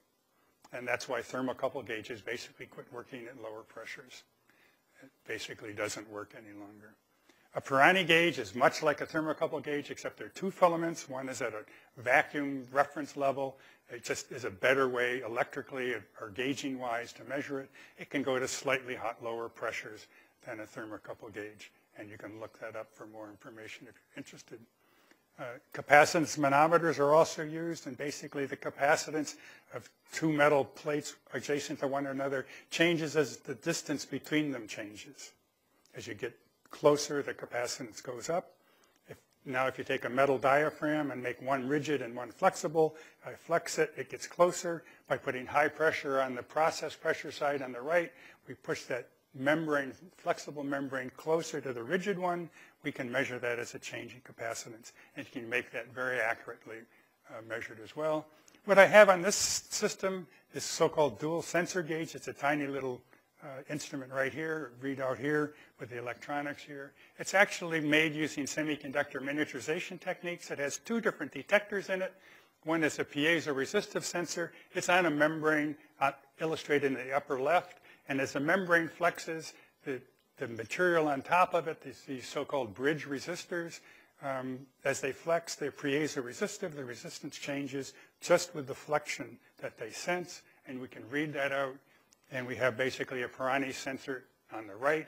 And the advantage here, because it's miniaturized, it gives us, can go to much lower pressure simply because it's only got a five micron gap between the sensor and the uh, heat sink that's around it. Uh, there's lots of details about that we could explain, but don't need to here. And basically, it can read from 10 to the minus 5 to 10 to atmospheric pressure. Uh, there's an overlap region where the, you get readout from both, from both sensors, and there's a computer, basically a computer chip that does the calibration. It's very accurate, very compact, a sweet little device. An ionization gauge is used for still lower pressures. Now, as we get to lower pressures, remember there's much less gas atoms and molecules there. And so what we do is actually use a tungsten filament, this white hairpin on the right-hand side, heat that up, gives off electrons just like in our light bulb uh, and in our fluorescent lights. Uh, we have a, a helical grid, which is biased to attract the electrons. It generates, it draws the electrons into the center of that helical grid.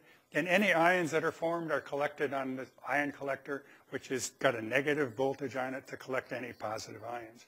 And you say to yourself, if I've got so few atoms and molecules there, how can this possibly work?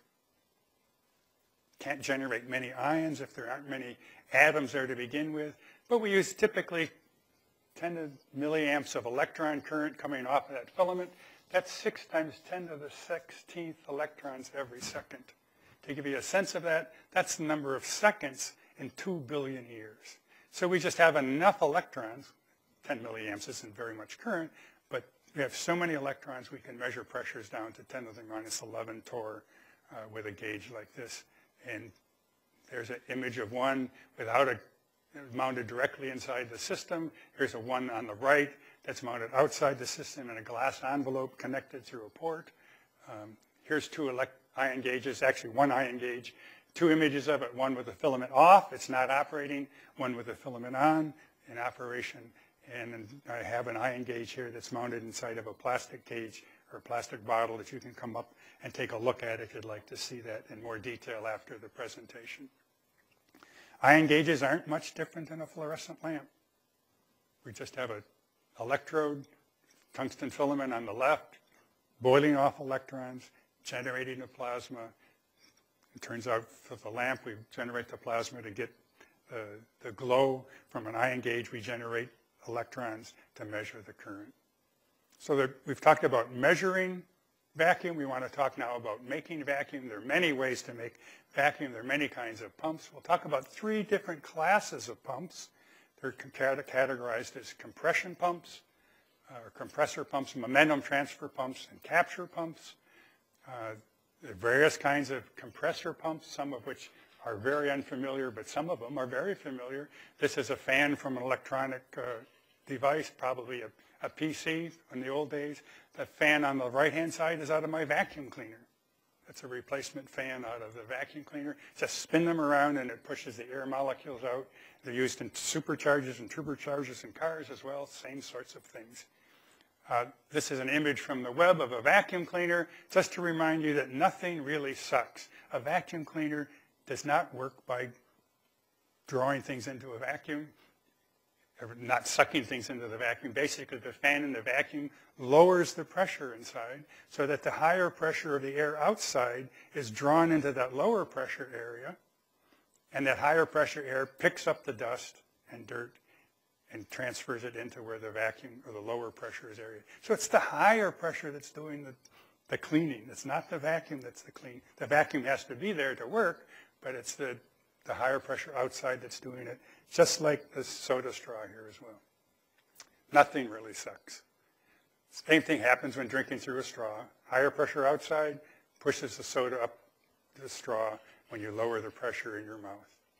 So a diaphragm pump is just a flexible membrane at the bottom connected to a, a, a movement that goes up and down, and it's basically doing the same thing as the vacuum cleaner does. It reduces the pressure when the membrane goes down.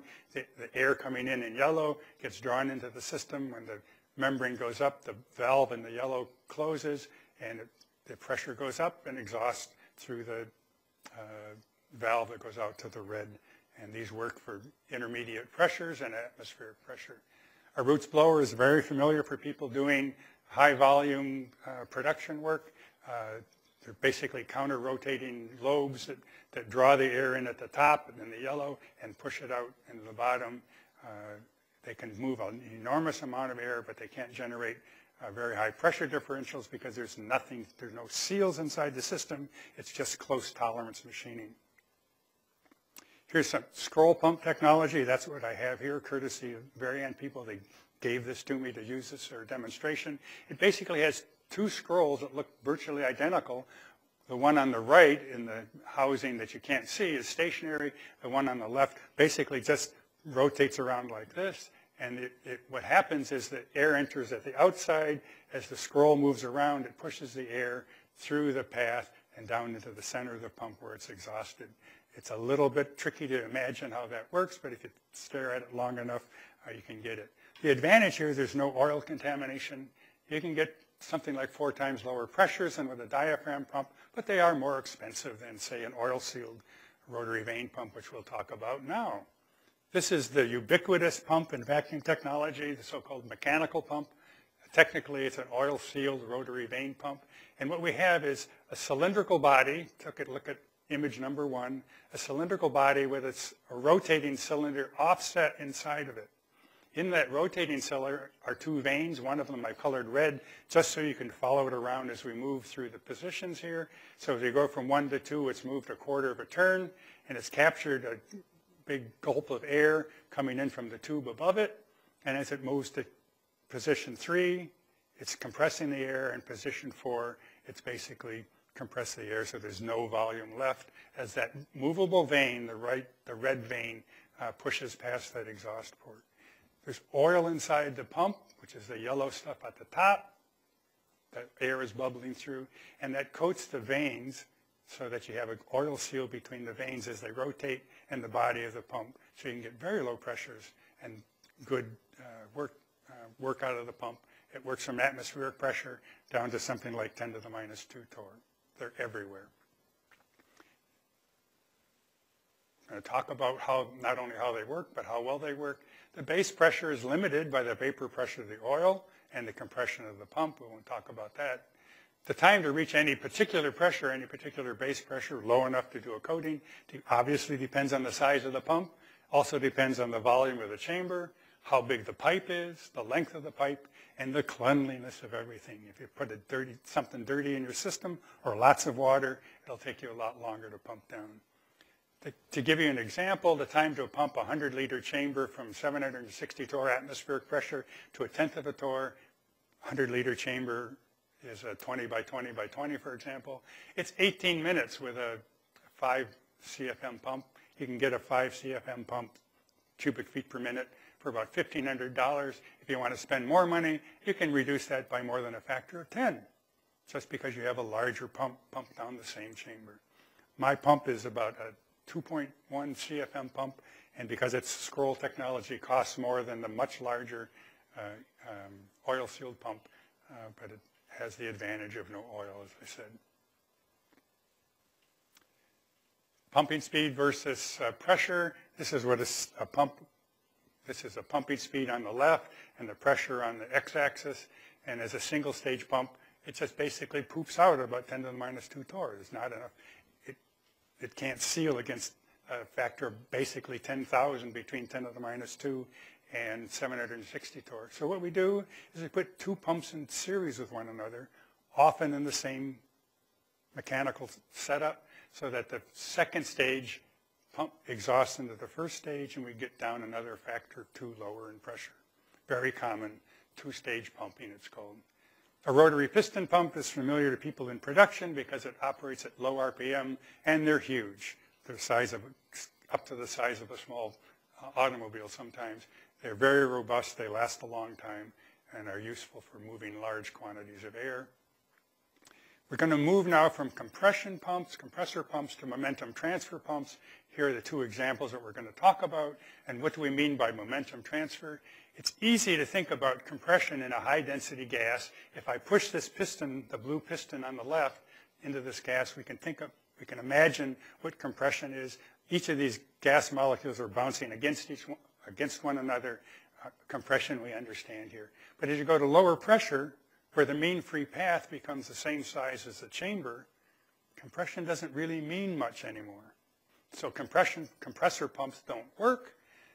What does compression mean when the mean free path is greater than the size of the vessel? Again, at 10 to the minus 4 torr, the mean free path is 20 inches. So it would take an enormous piston to compress gas at 10 to the minus 4 torr. So we use momentum transfer pumps. The most ubiquitous is a diffusion pump, and it's basically all it is is a heater with oil in it at the bottom. Uh, we got boiling oil illustrated at the bottom with a heater. It goes up through a series of chimneys. It's directed down through jets. Literally, they are jets, very tiny holes, to increase the speed. So we get these oil vapor jets directed down. It's cool. The oil condenses. The boiling oil condenses, uh, doing use, by virtue of the cooling water surrounding the jacket of the system. Um, basically large and heavy oil molecules are accelerated to something like 750 miles per hour. When they hit a lighter gas, they're massive. They push that lighter gas down towards the exhaust and they're removed from the chamber by a rotary vane pump. Here's a an illustration or a photo of a cutaway and they're basically either aluminum or stainless steel inside, nothing more than a heater and a good design of the rest of the system. Very robust, uh, works very, very well. The other kind of compressor pump is a turbomolecular pump. Looks like a jet engine without any fuel, basically fan or turboprop energy engine, basically blades that rotate very, very fast. There's rotating blades and some stationary blades. I'll show you a photograph momentarily, and a motor at the bottom to drive it. It's blades move very fast. So for example, it's 60,000 RPM, which is not untypical with a five inch diameter blade. The tips are moving at over 900 miles an hour. That's faster than the gas molecules are moving. So if the blade comes in at an angle, a gas molecule gets trapped here, it gets bounced down. The pressure increases as we go down the, the, into the depth of the turbo pump, and the, the blade angle changes because the pressure increases Otherwise, we would have a lot of drag on the pumping system. And there's a, here's a cutaway view. The first state, the first blade up there is a rotating blade, rotating in the counterclockwise direction. The next set of vanes there is actually stationary so that it traps gas from moving back up the system. They also are very efficient, but more expensive than diffusion pumps typically. When we get to still lower pressures, we go to something called capture pumps. Uh, they're basically the garbage cans of vacuum pumping. You put something in and it stays there. Instead of pushing it out for another pump to remove, it stays there until you regenerate the pump. Uh, before we do that, we need to talk about extremes in temperature as we get cold. We already know that water boils at 212 Fahrenheit or 100 degrees C. In Kelvin units, at 373 degrees Kelvin. We're going to use Kelvin units for the rest of this uh, section right here. Ammonia gas liquefies at 241 Kelvin, which is minus 30, minus 32C or 27F. It's very similar to Freon R12, which is used in air conditioning systems. We'll talk about, I have the chart for ammonia, but it looks just like Freon R12. Liquid nitrogen uh, boils at uh, 77 degrees Kelvin, much, much colder. Uh, liquid helium, 4 degrees Kelvin, and absolute zero is 0 degrees Kelvin, or minus 273 C, or 459, 460 F. Those numbers, why they're important, are, will be evident in just a moment.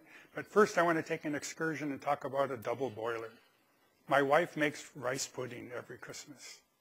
You put rice and milk in the top of the double boiler. You boil water in the bottom. No matter how much uh, heat you put into the system, as long as there's water boiling at the bottom, the top never gets above 212 degrees Fahrenheit. And the rice and the milk don't burn. It's really tricky to do. It takes a couple hours to make rice pudding. It's really tricky if you didn't use a double boiler because you'd very often burn the milk or burn the rice. Basically, water heated to boil, the ingredients are always at 212 degrees because we're just boiling water. It's condensing, transferring all of its heat, and it's not above 212 degrees because that's the boiling point of water. So here's the vapor pressure of common gases versus temperature. Same kinds of curves as we saw before for the elements, except now here's water circled on the, the rightmost circle.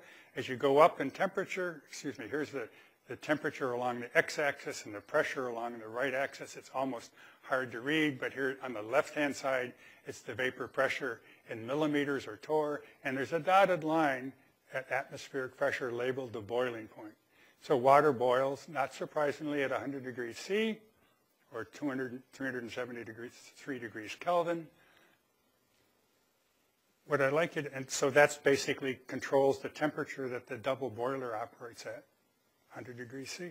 If we boil ammonia or freon, it's going to boil right there at something like minus 37. I can't remember what the number was. So if we have a container of freon or ammonia that's boiling, it's going to be minus 37 degrees, no matter how much heat we put into it, as long as there's some liquid there. We use that for refrigeration. That's how dehumidifiers work, air conditioners work. We don't use it very much in vacuum technology, although there's a few still hold out to use some of those. We'll talk, talk about that offline if you're interested. More importantly, here's the curve for nitrogen, argon, and oxygen right next to each other. Nitrogen boils at minus or plus 77 minus, I think I have it there, minus 196 uh, Celsius. That's an important feature because if we have a container in, inside of our vacuum system that has liquid nitrogen in it that we allow to boil, that container is going to stay at 77 Kelvin minus 196 Celsius. Look at what the vapor pressure of water is at that temperature. It's off the chart. So by using a liquid nitrogen vessel inside our chamber, we can pump out all of the water in our system. It forms ice on that liquid nitrogen container, and we remove it from the system. We don't have to exhaust it. We can just capture it. At the end of the coating or process, we let the system warm up and the water boils off, and we remove it. But during our process, we can get rid of all the water simply by having a liquid nitrogen container boiling inside of our system. uh, well, obviously liquid nitrogen doesn't pump nitrogen very well. Doesn't pump oxygen, doesn't pump argon. But think about liquid helium. Liquid helium boils at 4 degrees Kelvin. Look at the vapor pressure of nitrogen, argon, and oxygen at liquid helium temperatures. Liquid helium will condense nitrogen, oxygen, and argon, and any of the other atmospheric gases on its surface if we have a boiling liquid nitrogen container in our system. Well, how do we do that? Um, let's see. These are called, the, as I said, the garbage cans of vacuum pumping. We have several kinds of them. We're going to talk about the, couple of them. This is what a cryogenic pump looks like. It's just a stainless steel shell with a flange on the top uh, to connect to your vacuum system. If we cut it away, this is what the inside looks like. The yellow or bronze colored piece in the center is basically a refrigeration unit. There's an external compressor, but the gas is expanded here, and it cools all of these fins down to quite low temperature. We'll talk about that in just a moment. This is what it looks like in a little bit more detail. The chevron shaped at the top is actually cooled to liquid nitrogen temperatures. It's using helium, but it's cooling it to about liquid nitrogen temperatures because we want to pump out the water on a different surface than we pump out the oxygen and nitrogen and argon on because otherwise the ice would just build up enormously. And then these other surfaces, uh, the first one doesn't have any coating on the back, but these actually have uh, activated charcoal on the back side to give more surface area so when the ice forms due to the condensation, uh, we can capture more gases. And this last uh, surface here is the one that's cooled all the way down to liquid helium temperatures, and it can pump everything, uh, basically. So we've talked about the pressure ranges of various pumps, often called rough vacuum on the right-hand side, and we use compression pumps there. High vacuum in this range from 10 to the minus 4 to 10 to the minus 8 torr. We tend to use momentum transfer pumps there. And in ultra-high vacuum, if you need to get to still lower pressure, we use capture pumps. The capture pumps can be used uh, up at higher pressures as well, but they have to be used when we get down to these kinds of pressures because the, even the uh, momentum transfer pumps no longer work at those very low pressures. And any vacuum system for coating will have a combination of pumps because the mechanical pump doesn't get you to low enough pressure. The diffusion pump can't operate at high pressure. So you start out pumping with one, transfer the system over to another, and large production systems will often have a Roots blower as an intermediate uh, pumping system as well. Finally, we'll be talking about thin films, not just the ways to generate them, and we'll look at some of the production tools to make them. I want to again emphasize how very thin these thin films are. Uh, imagine this is a, a vacuum thin film, 100 nanometers thick, on the surface of a glass substrate is illustrated there. If this, this is a magnified drawing, obviously, if this uh, uh, 100 nanometer thick piece of uh, film, film were on a piece of one quarter inch glass, uh, and the image on the screen were four inches thick, it's a little bit higher than that, how, can you guess how far away the other surface of the glass is? It's more than four miles away. That's how thin these coatings are when we're talking about vacuum thin films. And that's a relatively thick vacuum thin film, to put it into reference. Here's all you need to do evac vacuum evaporation in a lab scale system. At the bottom here, there's this coil. It's a heater basket just like these we have here. You put current in them, you generate an evaporant flux, convert the solid to a vapor. Our substrate is up here. We have a shutter in between. Those are just conveniences to make sure we have control. We have a heater labeled A behind the substrate if we want to heat up the system. And what's labeled C there is a monitor, so we can actually check how much material is being evaporated at the same time. Looks relatively simple, but all the action actually is down below where we have the pumping stack. So we have a cooled coil here, refrigerated coil. Here's our liquid nitrogen vessel. It's vented to atmosphere, but it's got liquid in there, so this entire surface is at liquid nitrogen temperature, and the vapor pressure of water is basically zero above that liquid nitrogen vessel. We then have another chevron trap here, basically because we have a diffusion pump here. Uh, it generates a lot of heat. We don't want to heat up the liquid nitrogen, so we have a water-cooled trap in between and no direct path for optical radiation from the diffusion pump to the liquid nitrogen trap. So a lot of complication in the pumping system. Here's a large-scale resistance evaporation system for decorative coatings. Um, that cylindrical body has lots of little parts stationed on it. There's a bunch of tungsten filaments going down the center of it. Right here labeled the evaporation system. The, the cylinder is about six feet in diameter.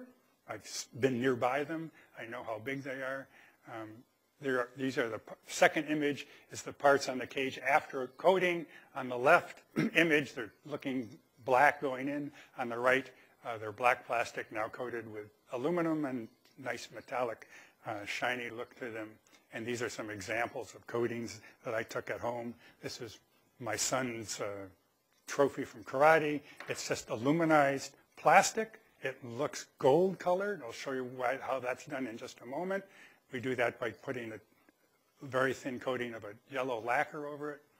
Here's a large-scale e-beam evaporation system for optics, for, like for example, my eyeglasses. And the substrates are, the eyeglass blanks are held up at the top in each of those little circular holes. We've got electron beam sources down here at the bottom, and actually has the capability of coating one side of the lens, flipping it over and coating the other side of the lens, so you get this is probably seven layers of alternating high index, high index, low index coatings on my lenses, and they do both sides in one vacuum pump down, used for ophthalmics, used for photographic lenses, all kinds of lenses of all sorts. This is for tool coating. Uh, those are drill bits going into a coater. If you go to the local big box store and buy a titanium coated tool bit, they last a lot longer. It has a gold color. It's actually titanium nitride. It both gives it lubrication but also very hard. And so these are used for tool bits, but they're also used for automotive parts. Uh, the bezels on watches, you can make it titanium uh, nitride look gold. And so oftentimes what looks like a gold watch is titanium nitride. It's actually more durable than a gold watch. Uh, we can talk about some of that as well later. This is a metallizer for sputter coating C, uh, CDs and DVDs, compact discs and DVDs. One of the amazing things that when people first come into this is a CD is coated every second, actually a little faster than that. They, it takes two stampers, the plastic molding equipment, to keep up with one metallizer, we can actually work twice as fast as the, the stamper can work. Here's a fast cycle sputtering system, and what's going into it are lenses for automotive applications, big pieces of plastic. Uh, what you want to explain here, that the operator is loading or unloading coated parts from the one side. There's actually two doors on this chamber. So one door is closed, it's being coated. The other door opens the other way. You can unload coated parts, load uncoated parts, so when these are being coated, as soon as you're done with that, you can load up another set without having to wait between uh, venting and pump down cycles. I do roll-to-roll -roll coating, like a lot of people at 3M, uh, coating of plastic films inside of a vacuum chamber. We have a roll of film which is unwound, goes over past the source and is rewound, and we coat enormous quantities of film very quickly. The largest coaters are in Europe. They're four and a half meters wide, and they operate at up to 3,500 feet per minute, which is like 40 miles an hour is the speed of the film moving through that. That's why potato chip bags are basically free. Here's an image of one, uh, a small version of one uh, made by uh, Applied Films. Uh, we basically coat the full width of four and a half meters by having multiple sources. There's a ceramic bar every four inches across the width of that four and a half meters, and we feed wire, aluminum wire from down below here into that, onto those sources continuously as the film moves by. We do that for all kinds of uh, applications for decorative packaging, uh, for snap, for barrier films, for capacitors, for example. Something like 8,000 square miles of plastic is coated every year worldwide uh, for these kinds of applications. And I have some examples. We have, this is just to make it look shiny on the shelf. That looks good. This is actually a microwave susceptor to heat bread without making it tough and soggy. Here's a, a lamp from an overhead projector, a dinosaur these days, but these lamps are used elsewhere. And this is actually the uh, reflective uh, Fresnel reflector from the front of a Mercury Sable that we built a number of years ago, and holograms. This is just decorative for kids on the inside of SpaghettiOs. There's an image of some superhero in there somewhere. But we can make these systems very large. This is a paper metallizer. That's not a midget. That's a full-size guy. But all that paper has about 4% moisture. So we're literally putting pounds of moisture inside the system. And we know that it expands dramatically, as we talked about earlier. We have to manage that, and we can. We use paper for putting labels on beer bottles and cigarettes. And here's a, my favorite brewer in, in, over in my home state of Wisconsin. Uh, and maybe you like that too. We can do sputtering at large areas. These happen to be sputter sources that are 84 inches long. You can make them basically as long as you want. There's no limit to how long you can make them. This is for roll coating, again, coating a plastic film, and the film would rotate on a drum inside that semicircular uh, space in the middle of all those sources. Used for making window film. I don't have an example of window film with me, but it's also used for making flexible circuits for solar cells, touch panels and uh, interconnects for all of our electronic devices that become, uh, we can't live without. Also made roll-to-roll -roll vacuum coating on the, on the film is used for the security inks that are used in our uh, currency out in Santa Rosa, California. Here's an architectural glass coating system. One of the amazing things about this, it's, it's pretty, pretty long, but it coats one 10 foot by 17 foot sheet of glass every 20 seconds. It starts out at one end, it's washed first, dried, goes into the vacuum system in a continuous path, a pump down, another door opens, goes further, and five to seven layers go on that, and it spits out one sheet of glass every 20 seconds. That's why when you go to a big box store these days and you buy a window for your home, you can't buy it that's not low E. To get clear glass is now a special order. 15 years ago, low E was a special order, and now it's basically ubiquitous. The world's largest vacuum system, we're almost at the end, is this one built by who else? NASA. The door is 50 feet square. Uh, it's at their space power facility in Ohio. Here's some particulars about it. It's got enormous pumping. It can get down to 10 to the minus 6. It's, you can heat things up you can cool them down to minus 320 F. It's, a, it's just a behemoth. Never seen it, but might be fun. So three reasons for vacuum evaporation. Reduce the boiling point, reduce the scattering, reduce the reactions with air. If you don't take home anything today, take home those. Uh, the wizard once asked, why aren't young people interested in becoming wizards? His wife said, they are. The wizard said, how do you know that? They call them geeks now.